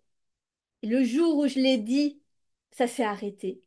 Ensuite, hein, de me dire non, moi j'aurai un amour extraordinaire. Quoi qu'il arrive, quelqu'un m'aimera de façon extraordinaire. J'ai mon mari qui est juste dingue, qui est arrivé de nulle part. Un jour, je vous raconterai, mais il est arrivé de nulle part. C'était juste imprévisible. Et là, on se dit, waouh, mais c'est magique en fait. Et vous verrez que, et c'est ça aussi le but qui va vous amener petit à petit à votre entreprise, c'est euh, ah oui, et donc juste je voudrais finir. Et après, une fois que vous avez cette sensation dans le quotidien que euh, quoi que vous viviez, c'est parce que vous avez un apprentissage à faire, ou que de toute manière, quoi qu'il arrive, bah, ça va se finir bien, parce que vous verrez que chaque fois que vous avez vécu quelque chose de bousculant dans votre vie, ça s'est toujours bien fini. Au final, pour la période euh, euh, sur la période dans laquelle vous l'avez vécu. Et puis après, quand c'était plus euh, aligné, bah, vous avez rechangé, etc. Et par contre, moi, avec la liquidation, j'avais transformé ma liquidation vraiment euh, euh, de façon extraordinaire. Par contre, euh, je n'arrivais plus, je croyais tellement, ça m'avait, cette façon de faire, elle nous permet de croire en la vie, de se rendre compte qu'on est toujours soutenu, que tout est magique, que, que finalement, tout est comme si c'était orchestré pour nous donner le meilleur au bout du compte. Donc ça, c'est vraiment une sensation que j'espère vous aurez parce que c'est extraordinaire de vivre ça c'est, ça ne coûte rien, hein. Ça coûte que le fait de prendre du temps et d'accepter l'idée de transformer un peu votre vision du monde. hein. Euh, mais euh, donc j'avais tout ça, mais avec la liquidation, je n'arrivais plus par contre à le projeter dans l'avenir parce que l'événement de la liquidation avait mis un coup d'arrêt à des rêves, à plein de rêves qu'on avait avec mon mari, auxquels on ne s'attendait pas que ça s'arrête comme ça. Et, euh, Et du coup, et du coup, le, le, j'ai ressenti dans mon corps comme une sensation que je ne, que, que la vie ne me soutenait plus. Et j'avais plus de vision. Donc ça, c'est pareil. Ça m'a permis, donc ça a été très douloureux. Ça a fait partie vraiment de, de, cette sensation où j'étais désalignée. En même temps, on me disait que j'étais bisounours, en même temps que j'étais trop naïve, que j'étais pas une bonne entrepreneuse, que tout ça. Mais tout ça, aujourd'hui, ça a été guéri parce que finalement, je me suis rendu compte que d'avoir perdu ça m'a permis de découvrir que j'avais ce talent, justement. Et donc aujourd'hui, je peux redéployer et vous aussi, vous, cette façon de faire vous crée euh, un enthousiasme pour votre vie future, de vous rendre compte que vous pouvez contrôler finalement ce que vous vivez, parce que vous allez le voir au fur et à mesure que finalement c'est vous qui avez la main mise sur les choses. Et on va y venir parce qu'on va passer au chapitre, comment, euh, euh, comment décider dans le présent de, euh, de basculer euh, sur un- une fin de chapitre euh, de vie euh, positif ou négatif. Mais du coup, cette, capaci- cette euh, capacité à vous faire du storytelling vous permet de créer votre avenir, vous permet de visualiser et de reconnecter avec ce que vous désirez profondément, de recréer à l'intérieur de votre corps cette sensation que tout est possible en fait. Vous pouvez tout créer et que c'est une réalité, que c'est pas juste une lubie. Mais par contre, ça demande beaucoup de conscience de votre vie. Ça demande d'avoir conscience de ce que vous vivez, d'avoir conscience quand c'est votre cerveau qui prend la main avec les émotions sur ce que vous vivez ou si c'est vous qui décidez. Parce qu'il faut vraiment faire la nuance entre ce que le corps, le cerveau, euh, l'ego vous fait ressentir qui est réel, hein. C'est notre corps humain, il a besoin d'avoir des émotions, etc. Euh, et, mais vous pouvez vous dissocier d'une certaine manière avec qui vous êtes, c'est-à-dire de devenir observateur de tout ça et de décider, moi, je suis l'écrivain de mon, de mon histoire. J'ai toujours vu ma vie comme si je l'écrivais, comme si un jour je devais soit écrire un livre, D'ailleurs, c'est dans les papiers. Un jour, je pense que j'ai, enfin, j'ai vraiment l'année prochaine, en 2025, j'ai vraiment cette intention d'essayer de voir pour vraiment écrire un livre. Mais ça fait des années que je me dis que je, euh, que je vis ma vie comme si, comme si j'allais écrire, j'écrivais mon livre ou comme si j'allais raconter les histoires à mes enfants, mes petits, mes enfants, mais surtout mes petits-enfants parce que généralement, c'est plutôt... euh, Mais mes enfants aussi, ils- je leur ai raconté plein de choses. Tout, tout est... Tout ce que vous pouvez vivre au fur et à mesure, vous pouvez avoir le contrôle. Alors, vous n'avez pas le contrôle sur ce qui a été vécu d'un point de vue du passé. Par contre, vous avez le contrôle sur la perception que vous avez vécue, sur l'angle de vue euh, auquel vous choisissez d'adhérer pour votre histoire de vie. Mais dans le quotidien, quand vous vivez quelque chose de compliqué, comme j'ai fait donc pour ma liquidation judiciaire, donc je vous rappelle, je vous, je vous renverrai le, le live où je vous explique vraiment comment j'ai switché le truc, vous pouvez décider soit de, euh, soit de, comment je vais dire, de décider que le chapitre de vie difficile dans lequel vous êtes en train de vivre, parce qu'il y en aura toujours, soit de lui donner une fin positive, soit de subir. Soit vous choisissez la fin que vous voulez euh, la fin de ce chapitre, soit vous le subissez. Et c'est comme ça que euh, j'ai toujours transformé ma vie, toujours transformé mes événements, et que, et toujours surtout donner du sens à ce qu'on vit. Est-ce que ça vous parle? Est-ce que c'est pas trop perché pour vous? Est-ce que ça reste cohérent? Euh, est-ce que ça reste concret? Est-ce que vous avez des questions? Posez-les-moi. Et en fait, quand, euh, pendant que vous me répondez dans le chat, hein, je vais continuer. Quand vous avez cette compétence de prendre du temps, d'être observateur de votre vie, comme si c'est vous qui l'écriviez. Vous savez, c'est comme les, livres. Euh, par exemple, Fabien Olicard euh, vient d'en écrire un, apparemment, il vient d'en sortir un, mais on avait déjà vu ça dans... Je crois qu'il y a des jeux vidéo aussi comme ça, mais quand j'étais gamine, j'avais des, des- livres comme ça où euh, en fonction, on lit un chapitre et après, on a plusieurs possibilités de choix euh, pour pouvoir lire la suite. Et en fonction de la réponse qu'on choisissait, eh ben, on n'avait pas la même suite, en fait. Et du coup, la fin de l'histoire n'était pas la même. Ben là, c'est exactement la même chose.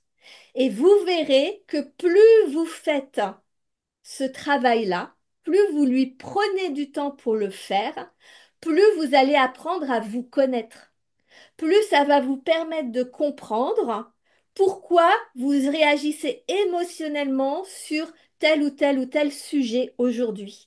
Pourquoi vous êtes bloqué dans tel ou tel ou tel niveau dans votre entreprise ou dans votre vie.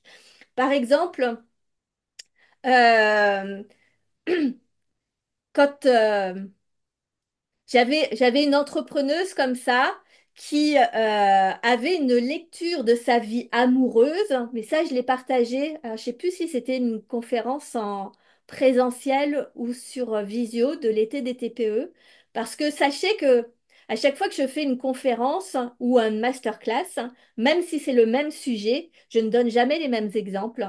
J'ai une trame en gros, mais je dis jamais la même chose parce que c'est mon corps qui vous parle. C'est mon, corps, c'est mon cœur hein, qui vous parle. C'est vraiment euh, euh, mon. euh, je vous partage vraiment tout ce qui me vient, toute mon intuition, tout ce qui est bon pour vous sur le moment, etc. Donc du coup, parfois, je ne sais plus euh, à quel endroit j'ai dit ça, mais j'avais une entrepreneuse qui, dans son histoire, euh, elle se racontait l'histoire qu'elle était issue d'une famille. euh, elle, elle était hyper ambitieuse, mais vraiment du genre très ambitieuse. Elle, elle rêvait déjà de yacht, de, de, de, de, comment on dit, de percepteurs pour ses enfants. euh, Enfin, vraiment le, le grand luxe, hein, quoi. Alors, j'ai toujours été ambitieuse, mais j'ai jamais vraiment rêvé de, de yacht ou de choses comme ça, même si, franchement, si je l'ai, c'est très trop cool. hein. Mais, euh, mais ce n'est pas euh, ma vision du luxe, mais elle, vraiment, elle avait ce- ce niveau d'ambition. Et c'est chouette, c'est extraordinaire parce que ça nous permet de créer toutes nos rêves, toutes nos ambitions, nous permettent de dépasser tellement de peurs et de construire tellement de belles choses dans notre vie. Et puis pour la vie des autres, parce que plus on a nos entreprises qui grandissent, plus on peut embaucher de gens, plus on peut participer à des associations qui nous tiennent à cœur, plus on peut participer à des valeurs qui nous tiennent à cœur. Bref, voilà. Donc c'est important d'avoir beaucoup d'ambition ça nous élève. hein. Et donc, elle, elle avait cette ambition-là. Sauf que ce qu'elle se racontait dans sa vie, c'est qu'elle était issue d'une famille où toutes les femmes de la famille étaient des femmes au foyer. Donc, dans son histoire, de ce qu'elle s'est raconté, et quand on se raconte des choses, c'est notre cerveau, ce sont nos pensées qui nous racontent des choses. On ne le décide pas Enfin, juste tant qu'on ne connaît pas ma stratégie, ma compétence du storytelling, hein, euh, et même en la connaissant, parce que le cerveau, il fait ce qu'il veut, en fait, hein, euh, on est un peu tributaire de, des réflexes de notre cerveau, des réflexes de défense de notre cerveau. Donc, notre cerveau nous envoie des pensées qu'au départ, on ne choisit pas. Et quand on est enfant, eh ben, comme on croit que nos pensées sont réelles, on valide. Vous êtes toujours là? Tout va bien? Je vous ai pas perdu?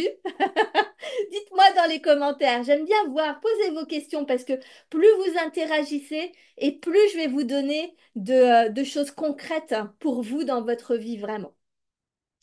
Donc, euh, donc du coup, elle s'était raconté l'histoire. L'histoire qui lui était restée, c'était les hommes n'aiment que les femmes au foyer.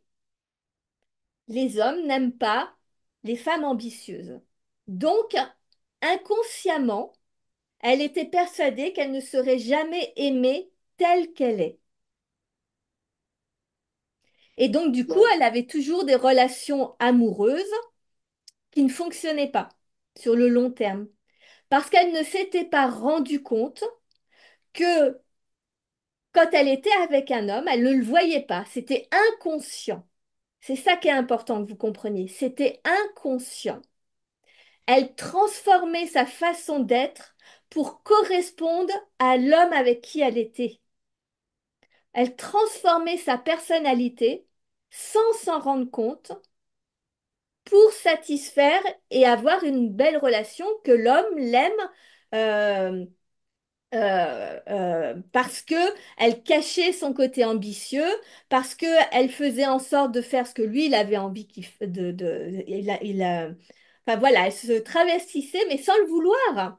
Et c'est et on fait tout ça quand on est gentil avec les gens, on se travestit parce que parfois on n'a pas envie d'être gentil. Quand on fait attention d'être parfait, qu'on se trouve qu'on est toujours, on a ce besoin de perfection, etc. On se transvestit parce que finalement on a peur que si on propose quelque chose qui ressemble juste à qui on est, c'est pas suffisant. Qui n'a rien à voir avec faire de son mieux. Parce que quand on fait de son mieux, on est fier de nous. Quand on est dans le perfectionniste, per- perfectionnisme, et je peux vous assurer que euh, je l'ai vécu, donc je connais bien. Euh, c'était pas faire de son mieux. C'était que euh, j'avais beau faire plus, plus, plus, c'était jamais assez bien. Donc je me travestis. Quand j'ai peur d'aller sur les réseaux sociaux et d'assumer un message, j'essaye de faire un message qui va plaire à tous les entrepreneurs. Donc je me travestis. Mais on ne le fait pas exprès. On est comme ça. Parce que notre cerveau nous...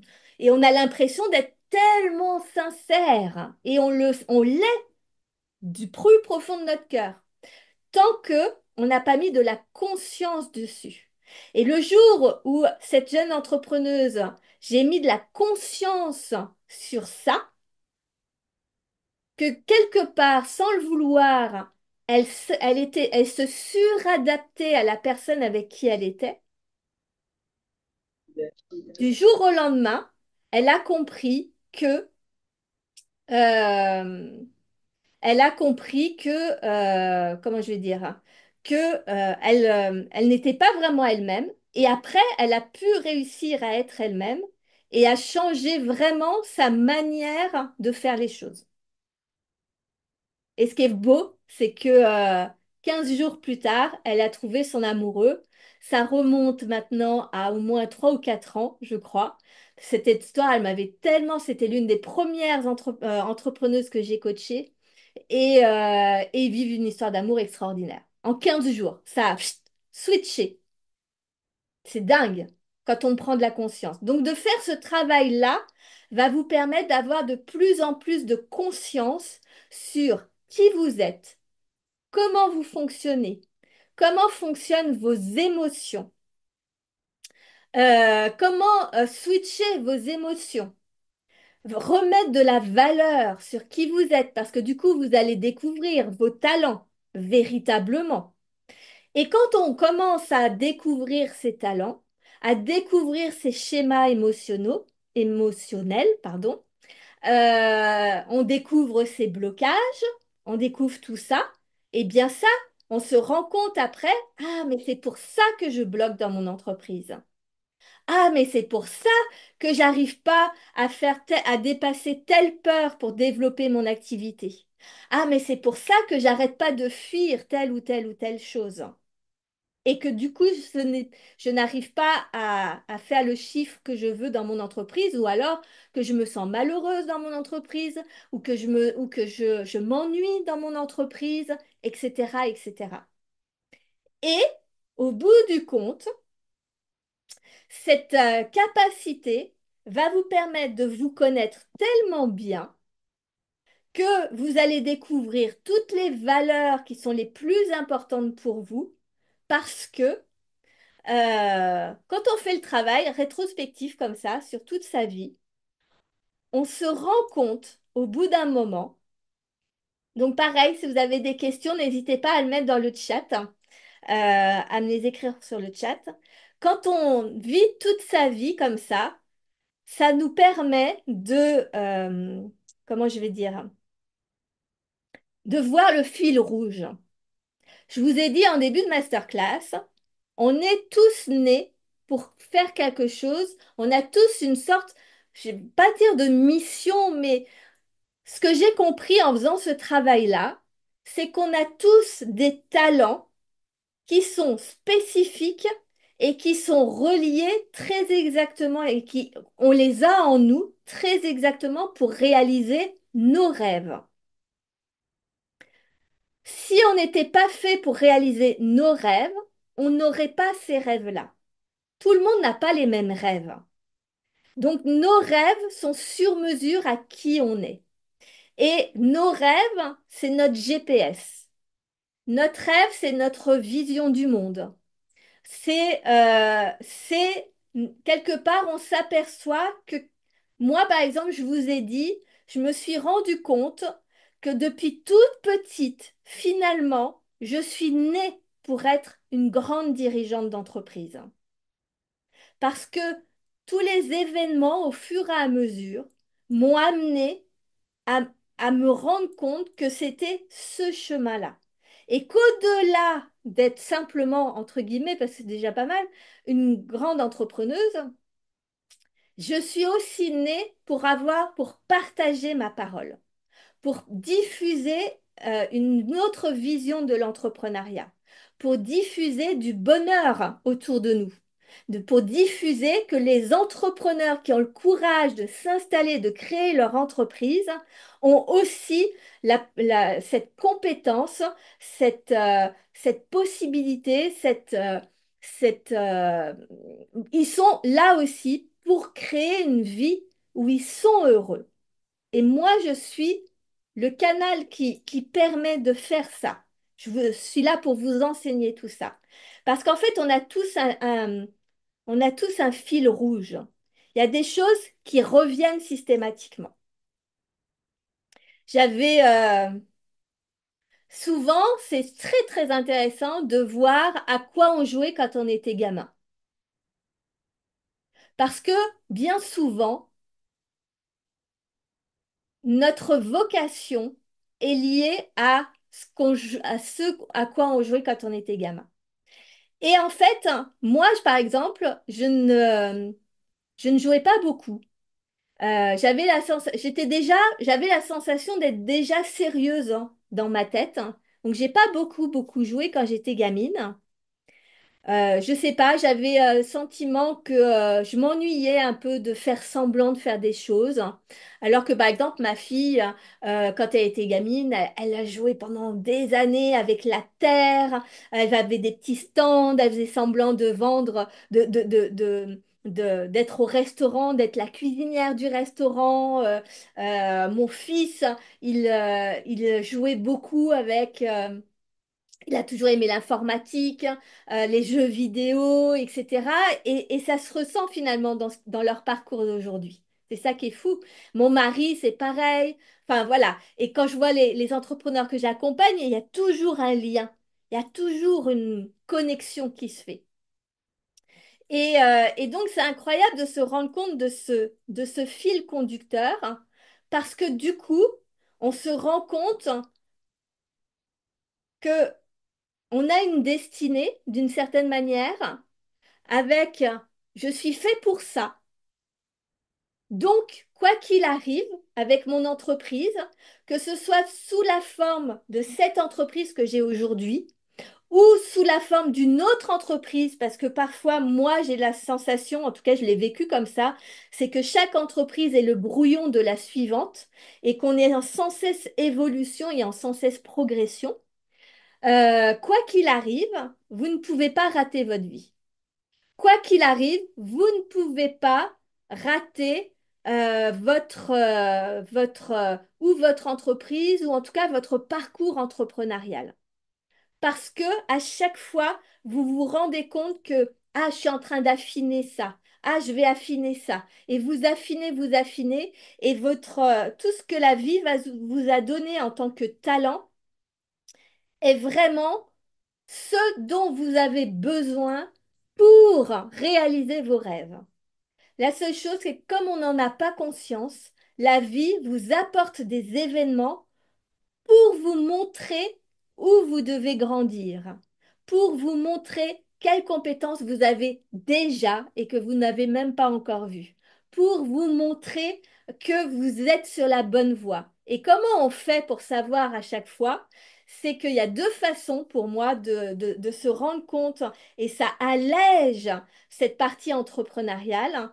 Euh, c'est euh, c'est vraiment, il y a deux façons de voir qu'on est sur le bon chemin.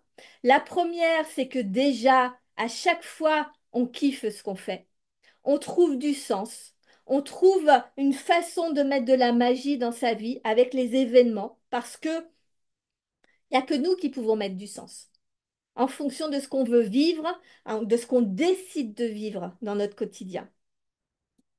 La deuxième façon, euh, plus entrepreneuriale, qui fait moins plaisir, mais qui est vraiment importante et, et une réalité, c'est que généralement, ce qui va vous permettre de savoir dans votre entreprise si vous êtes sur le bon chemin, si c'est la bonne chose à faire, c'est que c'est quelque chose qui va vous, que vous savez intuitivement que vous devez faire, mais qui vous fait super peur. Et ça, j'aurais aimé qu'on me le dise avant. L'indicateur que vous êtes sur la bonne voie, c'est que ça vous fait peur, mais qu'intuitivement, vous savez que c'est ça qu'il faut faire. Les lives, j'en avais tellement peur mais intuitivement, je ne sais pas pourquoi, je savais que je devais le faire. Et à chaque fois, mon mari me disait, mais je comprends pas pourquoi tu fais ces lives, parce que tu pourrais communiquer autrement, euh, tu te rends compte dans quel état tu te mets, ça me mettait dans un état de stress, ça me fatiguait, mais en même temps, je savais que je devais m'entraîner, parce qu'une fois que j'étais lancée, c'était comme là, inarrêtable. J'ai une voix à porter, j'ai un message à donner, j'ai des, des transmissions à faire. Je sais que je suis bien là-dedans. Et du coup, c'est pour ça qu'entreprendre, c'est pas toujours facile, parce qu'en fait, comme on crée l'inconnu, puisqu'on va en direction de nos rêves et nos rêves n'existent pas encore dans notre vie, eh bien, en fait, on est obligé de traverser nos peurs. Et donc, du coup, euh, et c'est en traversant nos peurs que on, sent, on ressent la fierté, on ressent la joie, on ressent qu'on est dans le bon chemin, qu'on dépasse le regard des autres, qu'on dépasse le jugement des autres, qu'on dépasse ce que la société dit qu'on devrait faire et que nous, dans notre âme, dans notre cœur, on ressent profondément qu'on doit faire comme nous on le pense, pas comme les gens. Et donc, c'est là où on se rend compte que il n'y a que nous qui savons le chemin.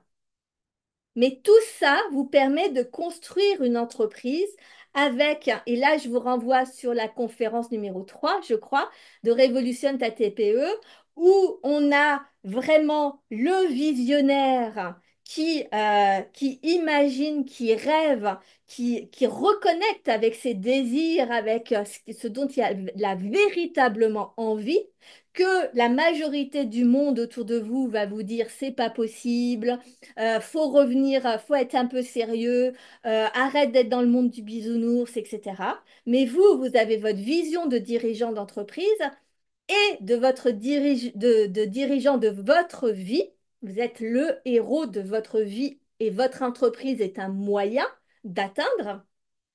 Donc vous avez la vision qui vous donne les actions inspirées qui vous font peur, comme quand j'ai fait mes conférences en présentiel. D'ailleurs, la dernière euh, en présentiel, c'est lundi 28 octobre à 19h30. Si vous n'êtes pas encore inscrit, inscrivez-vous. Et sinon, venez à l'hôtel Ibis à Moulins dans l'Allier. Et pour ceux qui sont loin, euh, euh, c'est mardi 29 par visioconférence. Donc, euh, rejoignez-nous.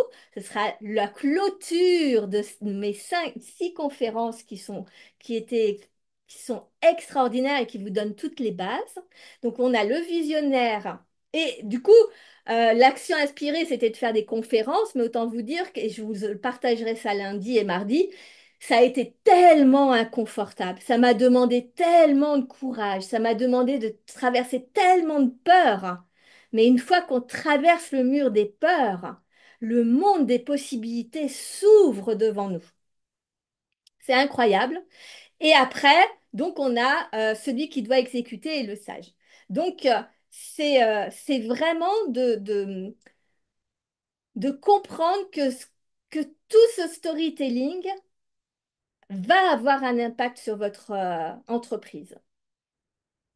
Parce qu'en plus, plus vous vous connaissez, plus vous savez où vous allez, plus vous avez les actions inspirées qui arrivent, plus vous avez peur, mais vous changez l'angle de vue, vous donnez du sens, etc., etc., plus en parallèle, ça donne une histoire à votre entreprise, parce qu'elle aussi, elle a du sens. Pourquoi vous avez créé cette entreprise particulièrement Pourquoi vous, vous créez ce produit ou ce service particulièrement? Et là, vous pouvez mettre votre histoire au service de votre entreprise.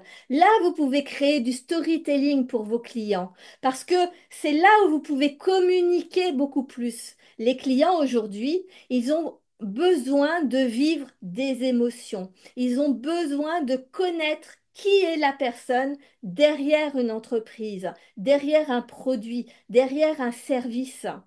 Ils ont besoin de vous connaître. Sinon, ils vont aller au moins cher. Sinon, ils vont aller sur Amazon. Sinon, ils vont aller euh, dans les grandes surfaces ou dans les grands groupes, etc. Parce que on ne leur donne pas de bonnes raisons de venir nous voir.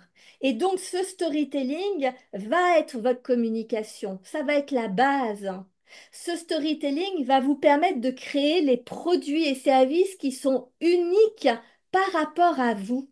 C'est ce storytelling va vous permettre de connaître tellement vos propres valeurs et ce que vous voulez vivre dans votre vie que vous allez pouvoir construire un business model adapté à vos rêves et à vos valeurs professionnelles et personnelles. Ça, c'est la conférence numéro 5 de l'été des TPE. Je vous donne un maximum. C'est vraiment, vous pouvez tout reprendre, tout réunir. Vous pouvez faire des bons extraordinaires rien qu'avec ce qui est offert déjà. Et ensuite, ce storytelling va vous permettre de créer des expériences clients de dingue, uniques, une expérience entrepreneur parce que vous, vous devez vous sentir bien dans votre entreprise, que les difficultés que vous traversez, elles aient du sens, que ce que vous créez a du sens, etc. Donc vous allez vivre une euh, vie entrepreneuriale extraordinaire parce que vous l'aurez décidé et c'est pas le client est roi, il décide tout. C'est pas, euh, c'est une étude de marché qui va définir si je dois lancer tel truc ou tel truc. Pas du tout. C'est vous aujourd'hui entreprendre à changer. Ça n'a plus rien à voir avec ce qui a été fait jusqu'à présent. Les clients ne veulent plus la même chose. Donc, on est obligé de changer les codes. Et en réalité, votre entreprise, ce que les gens achètent, ce ne sont pas vos produits ou vos services ou votre enseigne. Les gens, ce qu'ils achètent, c'est vous. C'est vous, votre histoire et les émotions que vous leur procurez. Si vous êtes un entrepreneur avec où vous êtes, vous êtes, vous réalisez vos rêves, au fur et à mesure, vous embarquez vos clients, vous leur expliquez où vous allez, pourquoi vous avez créé tel produit, en quoi il a un rapport avec vos valeurs, avec le message que vous voulez partager, etc. Eh bien, vos clients, ils vous choisiront vous plutôt qu'un autre. S'il n'y a pas ça, ils choisissent le prix. Voyez à quel point c'est important tout ça et le fait de de vous connaître, tout ça, ça vous donne cette légitimité qui nous fait si peur. Ça nous, ça vous permet de dépasser euh, le, le syndrome de l'imposteur. Ça vous permet de dépasser l'insécurité financière qu'on peut ressentir parfois. Parce que tout a du sens. Pardon. Est-ce que vous êtes toujours là? Allez, allez, je veux vous voir dans les commentaires. Dites-moi un petit peu si vous êtes toujours là. Qu'est-ce que cette conférence vous apporte? Est-ce que ça vous donne des prises de conscience? Est-ce que euh, ça vous donne la motivation? Est-ce que vous avez des questions parce que ça vous paraît encore flou, peut-être, hein, Euh, etc., etc. Partagez. Ce qui est important, je trouve que on on ne peut pas apprendre. Donc, je l'ai dit au début de la masterclass, vous devez revoir cette masterclass hein, pour pouvoir euh, véritablement travailler dessus. Mais ce qui est... Ah, t'es au volant. Ah bah oui, alors m'écris pas. Si, Pauline. Oh mon Dieu, je t'ai, je t'ai fait arrêter sur la route pour que tu puisses écrire ça. Enfin, j'espère que tu t'es arrêté, hein. Mais euh, merci, Pauline, de me le dire. Mais euh, en posant vos questions, mais vous pourrez poser vos questions après euh, euh, sous la, vidéo ou autre, mais plus vous posez de questions, plus vous vous autorisez à poser même les questions qui vous paraissent bêtes peut-être, hein, qui ne le sont pas. J'ai eu tellement de questions que je n'ai pas posées en pensant que c'était des questions bêtes. Et quand je me suis rendu compte que d'autres entrepreneurs posaient la question que je trouvais tellement débile hein, et qu'en fait, hein, le, coach que j'a- avec- chez qui j'étais euh, lui dit, mais ta question, elle est excellente, c'est extraordinaire. Et je me dis, bon sang, je me suis retenue. J'aurais pu avoir une réponse personnalisée. Ou alors, on n'a pas de réponse parce que personne ne pose la question, c'est tellement dommage. Profitez, euh, posez vos questions. Je ne veux pas que vous sortiez de cette masterclass en ayant des questions. Après, évidemment, que on va, euh, on va approfondir dans le programme. Donc, je vais vous en parler dans, très peu de minutes. hein. Mais euh, en attendant, vous pouvez déjà faire tellement avec ce que je vous partage là. Le fait d'être dans un programme, c'est pour aller plus vite, pour cibler, parce que vous voulez passer maintenant à un niveau suivant, parce que vous avez les moyens de le faire, hein, parce que vous voulez me poser des questions à titre personnel, hein, parce que vous avez envie d'avoir mon énergie à côté de vous, parce que sinon peut-être que vous allez procrastiner et ne jamais revenir sur cette masterclass. C'est pour ça qu'il y a des programmes payants. Mais la réalité, c'est qu'avec déjà ce que je vous ai partagé, vous pouvez déjà faire une partie du travail. Normalement, si j'ai bien fait mon travail, là, tout de suite, maintenant, il y a déjà des choses qui ont popé dans votre tête. Il y a déjà des switches. D'ailleurs, n'hésitez pas à me le mettre si vous n'êtes pas au volant. Et, euh, et sinon, si vous êtes au volant ou en replay ou autre, parce que je vais partager évidemment cette, euh, cette, euh, cette masterclass sur YouTube. Euh, donc, euh, vous allez pouvoir euh, le mettre dans les commentaires. Mais c'est important, faites le travail déjà pour vous. Donc voilà, voyez à quel point ça va loin, loin, loin dans votre développement entrepreneurial. Alors, je regarde si j'ai d'autres choses que je voulais vous dire. Ah oui, alors, juste des petits points vite fait. Rappelez-vous vraiment, racontez-vous votre histoire à vous-même, sinon les, autres vont la raconter pour vous. Ne laissez pas les autres envahir votre storytelling personnel. Vous savez pourquoi vous faites les choses quand vous faites ce travail-là. Vous savez. Vous savez où vous allez avec votre entreprise. Vous savez pourquoi vous ne faites pas de chiffre d'affaires en ce moment, ou très peu. Vous savez pourquoi vous êtes bloqué. Vous savez pourquoi vous mettez en place telle stratégie qui ne sera peut-être pas celle qui va vous rapporter immédiatement. Parce que vous savez déjà dans votre tête où vous allez. Les autres ne le savent pas. Mais parfois, ils, vous il vous euh, contamine. leur vision du monde vous contamine. C'est là où c'est important de faire attention parce que la souffrance vient du regard des autres. Ce que vous ressentez comme souffrance dans votre vie vient parce que le storytelling que vous utilisez est basé sur les propos du monde extérieur et pas relié à vous. Ce n'est pas vous qui avez décidé de croire en ce que vous voulez croire. Donc ça, c'est un fait qui est très très important.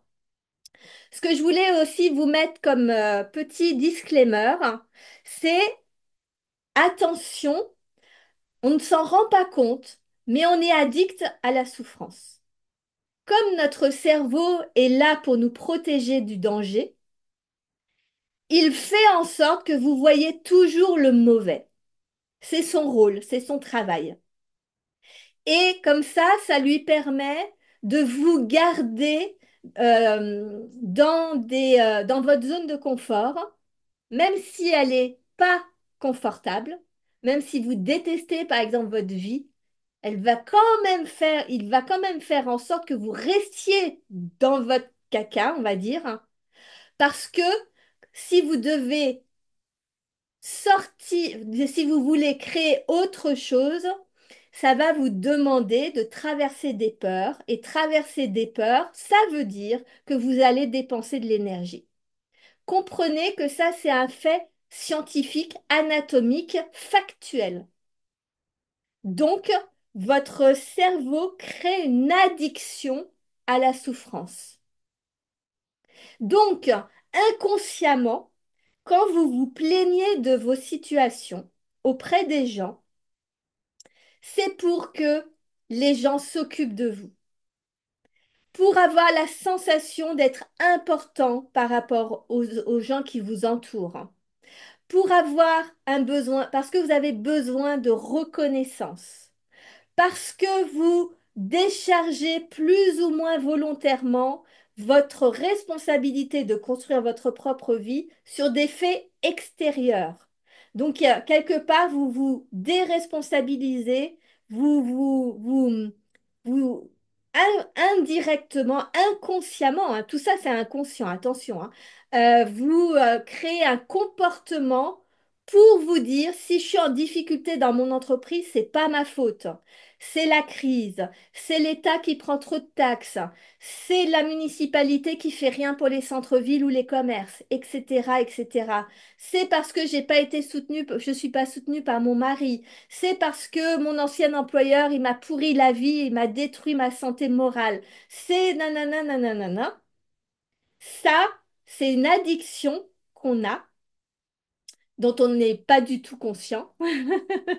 qui est relié à cause du fonctionnement du cerveau.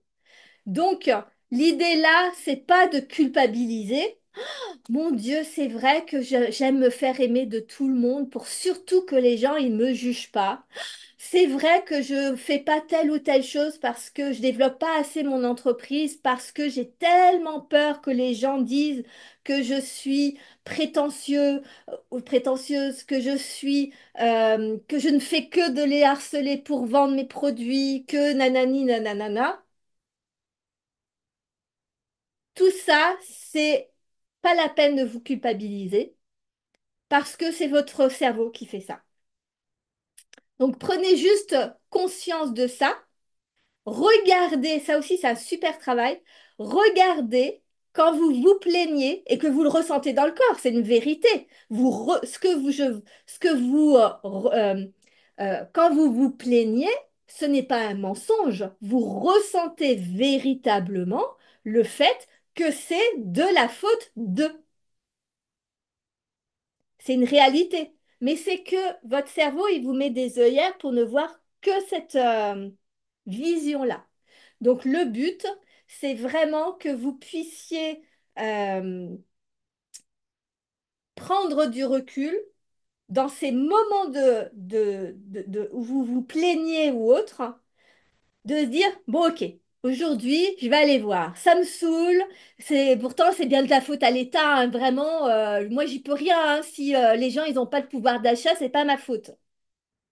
C'est un fait. Mais qu'est-ce que ça t'empêche de faire? C'est quoi le bénéfice à penser ça? Quelle est la chose que tu pourrais faire, que tu sais que tu as envie de faire ou que tu sais que tu dois faire dans ton fort intérieur, mais que tu ne fais pas parce que finalement, ça sert à rien parce que de toute manière, les gens n'ont pas d'argent. Donc pourquoi est-ce que j'irais traverser une peur qui me saoule? Pourquoi est-ce que j'irais sur les réseaux sociaux me montrer alors que personne va s'intéresser à ce que je raconte? Et ça, c'est violent, hein. Moi, j'ai ressenti ça quand j'ai fait mes premiers lives euh, pendant trop- très longtemps. hein. Donc, ça fait pas si longtemps que ça que ma vision a changé. Mais ça me renvoyait toujours que j'ai beau dire depuis des années des choses sur Internet ou des choses aux entrepreneurs, tout le monde s'en fout. L'image de ne pas développer mes réseaux sociaux, l'image que euh, justement j'ai pas de retour ou que les gens ne mettent pas des pouces ou etc. etc. La peur qui m'empêchait d'appuyer, qui m'était aussi longtemps que ça, c'était ma peur que ce que je dis soit inintéressant, ma peur que ce que je dis soit ridicule, etc. Et en fait, eh bien, quand je le faisais, ça me confortait dans ma certitude que j'étais nulle, que les gens ne ça n'intéressait personne. Donc ça me, mon histoire continuait à me valider que j'étais pas aimée, que j'avais besoin qu'on reconnaisse ce que je dis, au lieu de moi-même valider que j'ai des compétences juste extraordinaires et en fait, que les gens le croient ou pas, c'est une réalité. Donc l'impact n'est pas du tout le même.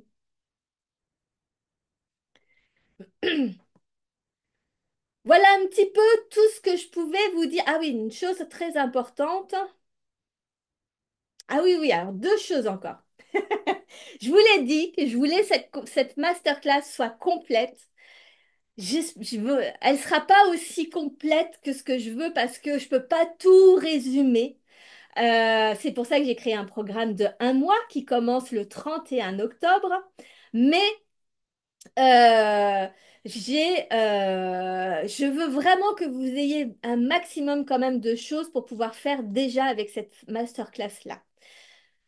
Ce que je voulais vous partager, c'est que vous compreniez pour l'aspect entrepreneurial, notamment, que parfois, c'est hyper intéressant de faire ce travail de storytelling personnel parce qu'on s'aperçoit que il y a des incohérences, que l'on vit des incohérences entre ce qu'on désire pour notre entreprise ou pour notre vie et nos croyances, nos pensées que l'on a dans notre quotidien.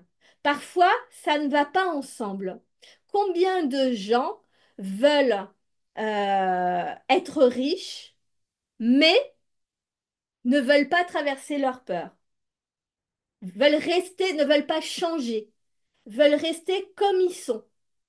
Combien de... Moi, par exemple, une incohérence énorme que je n'avais jamais vue, c'est je veux vendre sur les réseaux sociaux. Je veux être vue sur les réseaux sociaux, donc je fais mes lives tant bien que mal. D'accord? J'ai- Et j'ai écrit beaucoup de posts. Je pense que depuis sept ans, je suis pratiquement tous les jours sur, un- à écrire des posts, etc. Donc j'avais vraiment ce désir profond d'être connu, d'a- d'apporter quelque chose aux entrepreneurs, d'avoir, euh, euh, de, de développer mon entreprise, d'accord? Et encore une fois, tous les exemples que je prends, allez chercher ensuite comment ça résonne dans votre histoire à vous.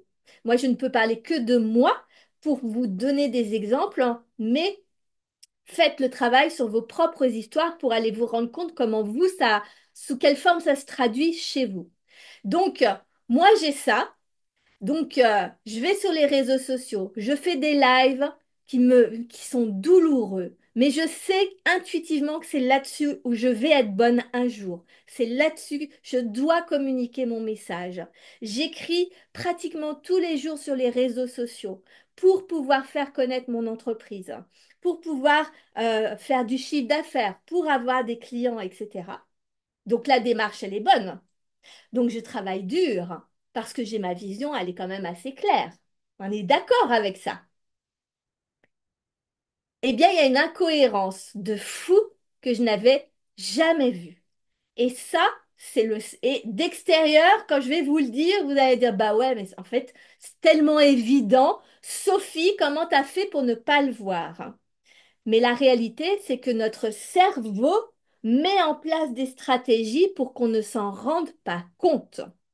Donc, je suis dans cette position où je donne, je donne, je donne, je donne pour développer mon entreprise, pour avoir des clients, pour accompagner les entrepreneurs, mais je propose très peu d'offres. Je parle que de temps en temps de mes accompagnements individuels. De temps en temps, je fais un programme et j'en parle un peu. Mais la réalité, c'est que quand on fait le choix de travailler sur Internet, c'est que les gens, ils voient pas, ils sont pas constamment sur les réseaux sociaux. Euh, ils voient pas tout passer de ce qu'on partage. Moi, j'avais la sensation de donner, de donner, de communiquer, de dire à tout le monde, etc., machin. Mais dans les faits, je proposais pas assez souvent mes programmes, mes services, etc. Et là, il y a une contradiction, des pensées et des croyances incohérentes. Pareil, quand on est dirigeant d'entreprise, on est censé montrer qu'on fait les mais en tout cas, on, donne le meilleur dans nos produits et services. On est des professionnels. Je pars du principe que vous faites les choses de façon excellente. En tout cas, moi, je travaille avec les gens qui mettent de la conscience professionnelle, qui, euh, qui sont passionnés par leur métier, etc. Donc, on part du principe que c'est qualitatif. Et euh, j'avais perdu le fil. Et donc, vous faites des choses extraordinaires, mais vous ne le dites pas.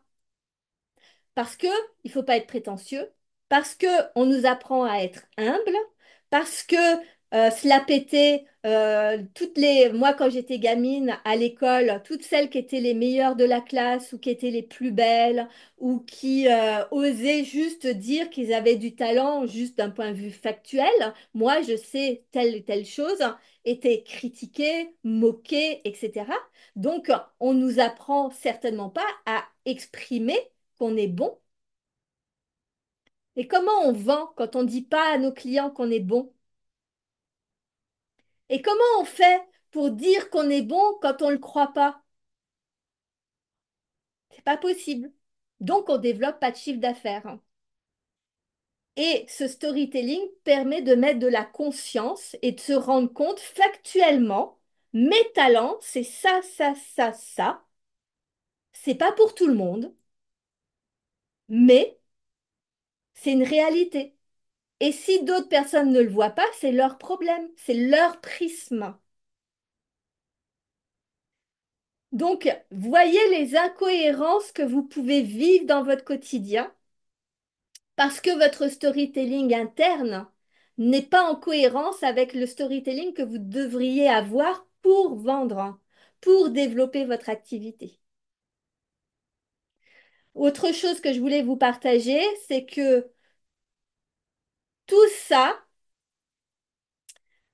tout, tout ce travail que vous allez faire, soit tout seul avec ce que je vous ai partagé là sur les, tous les lives que je vais vous partager et cette masterclass, soit dans le programme avec moi, quels que soient les changements, vous allez vivre des changements.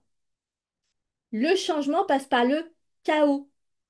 C'est émotionnel, c'est normal en fait c'est pas grave. C'est pas grave, mais on ne peut pas désirer changer sa vie ou ses résultats sans que se passer par de l'émotionnel. C'est pour ça que je fais ce programme sur un mois pour pouvoir vous accompagner chaque jour pour que cet émotionnel, je le travaille avec vous, en fait. Parce que quand on transforme une situation qui est douloureuse, qui est triste à la base, ou par exemple on n'a pas fait un deuil, ou par exemple on a toujours du ressentiment sur quelque chose, d'accepter de dépasser son ego pour pouvoir voir autre chose et se raconter quelque chose d'autre à l'intérieur de soi, il y a de la résistance. Le cerveau, lui, il n'est pas d'accord. Il va mettre de la résistance. Quand on, on se rend compte que pour notre entreprise, la- l'action inspirée qui nous arrive, comme euh, j'ai vécu avec les lives, comme j'ai vécu là dernièrement en faisant des conférences en présentiel, que c'est qu'on a on sait que c'est ça qu'il faut faire, mais on a tellement de peur derrière. On est obligé de passer par le chaos émotionnel pour les traverser. C'est normal. Donc, euh, prenez conscience que ça bouscule, mais que c'est normal et que quand ça bouscule, c'est que c'est une très bonne nouvelle. c'est que vous êtes en train de changer votre destinée. C'est que vous êtes en train de reprendre le contrôle. C'est que vous êtes en train de, vous allez pouvoir commencer à voir la magie des coïncidences parce que vous allez repérer. Et ça, c'est la dernière chose. Puis après, je vais vous, euh, je vais vous partager un peu mon programme et puis après, je vais vous libérer. Mais quand on commence à avoir vraiment de la conscience sur sa vie, euh, on, on voit au fur et à mesure, ah mais tiens, euh, et là, certains appellent ça de la manifestation. Moi, j'appelle, il y en a d'autres, ce sera de la coïncidence. Moi, j'appelle ça la magie de la vie. Chacun raconte ce qu'il veut. Euh, c'est votre propre storytelling euh, personnel, euh, interne, qui, est important. Mais du coup, vous vous rendez compte que, il y a des coïncidences incroyables entre les choses. Il se passe une difficulté dans votre vie ça, ça chamboule tout, ou dans votre entreprise, il y a un truc qui fonctionne pas bien, vous changez de chemin, vous prenez conscience, vous choisissez du coup, et d'un coup, il y a des choses qui arrivent qui sont fluides. D'un coup, vous rencontrez la bonne personne au bon moment. D'un coup, il y a, un dossier qui est bloqué depuis X temps qui va se débloquer. D'un coup, il va y avoir des choses, mais comme vous êtes tellement conscient de votre histoire, de votre fil rouge, de c'est vous qui choisissez comment vous utilisez l'adversité, on va dire, que vous allez repérer tous ces moments magiques. Et vous verrez, il y en a tellement. Et vous allez le voir chez les autres. Au début, vous allez même plus le voir chez les autres que chez même vous-même. Moi, je le voyais tout le temps chez mon mari, chez mes enfants, à dire, bah, tu vois, cette situation-là, elle t'a permis de vivre ça, ça, ça, ça. Tu te rends compte comme c'est extraordinaire, hein Et ça, c'est dingue. Donc voilà, un petit peu tout ce que je pouvais vous partager pour aujourd'hui. Euh, Ouais, je pense que si vous avez des questions, je répondrai volontiers. Mettez-les sur le... Quand je vais poster cette euh, vidéo sur euh, YouTube, vous allez pouvoir poser les questions dans les commentaires. Je répondrai à toutes les questions. Et puis, donc vous l'avez compris, je fais le programme Storytelling pendant un mois. On commence le 31 octobre, jour d'Halloween, où on se raconte des histoires qui font peur. Ouh, ouh. Je sais pas le faire. Euh, pendant un mois jusqu'à fin novembre, jusqu'au 30 novembre. En tout cas, pour l'instant, c'est le minimum que je vois. Et je me laisse la liberté de rajouter si je vois que il y a besoin ou pas. Moi, je suis très intuitive. Ça va dépendre du groupe, hein. Ça va dépendre des personnes qui vont être là. Ça va dépendre de vos questions. Ça va dépendre de vos retours. Ça va dépendre de mon intuition. Tiens, il faut que je rajoute ça. Tiens, il faut que je rajoute ça. Donc, euh, c'est pour ça qu'aujourd'hui, vous pouvez intégrer ce programme à un tarif tout mini, tout mini de 55 euros jusqu'à ce soir minuit. À partir de demain, tous les vendredis, maintenant, je fais un business Mon Amour Shopping où je partage quels sont les, les endroits avec lesquels vous pouvez... Parce que du coup, j'ai appris hein, qu'il fallait que je partage régulièrement ce que je fais, euh, d'avoir un endroit spécifique chaque semaine pour pouvoir dire, vous pouvez travailler avec moi ici, ici, ici, grâce à ce storytelling, l'histoire que je vous ai racontée tout à l'heure. Euh, et à partir de, de ce soir, euh, minuit une, le programme sera à 555 euros tout le mois euh, de novembre, donc du 31 octobre jusqu'au 30 novembre, jusqu'à la fin du programme, et je réévaluerai le tarif à ce moment-là, parce qu'on peut le vivre en replay, on peut le vivre en différé, parce que vous aurez toutes les masterclass, euh, tout ce que je vais vous partager. Bien sûr, vous n'aurez pas le VIP, mais euh, donc l'accompagnement en, direct ensemble, mais vous aurez tellement quand même de quoi faire, ça va être extraordinaire, tout sera peaufiné, il y aura, enfin voilà, il sera tout finalisé bien. Euh, et puis bah voilà, donc euh, je vais vous mettre quand même le lien, le lien si vous voulez rejoindre, voilà, le programme avant ce soir à 55 euros, c'est extraordinaire. Un programme d'un mois en accompagnement comme ça avec moi, ça, c'est juste euh, fabuleux. Mais moi, j'adore. Par contre, c'est très court. C'est là où il faut apprendre. Je le fais pour deux raisons différentes. La première, c'est parce que moi-même, j'ai vécu d'avoir envie de transformer ma vie, mais de pas avoir les moyens. Donc, c'est important pour moi parce que j'ai vécu ça. Certains coachs ont fait des programmes extraordinaires à des tout petits prix pour permettre, comme ça, pour, en tout cas, moi, ça m'a permis que, quelle que soit ma situation financière, je pouvais adhérer et apprendre et, et développer. J'ai confiance euh, que de toute manière, c'est euh, c'est un gagnant-gagnant. J'y gagne quoi qu'il arrive. Parce que euh, si vous êtes satisfait, vous ferez ma communication. Donc, j'aurai d'autres clients plus tard. Si vous êtes satisfait, vous adhérerez à d'autres programmes. Donc, de toute manière, c'est gagnant pour vous et c'est gagnant pour moi. La deuxième raison, c'est parce que, en tant que dirigeant d'entreprise, il est important de saisir les opportunités.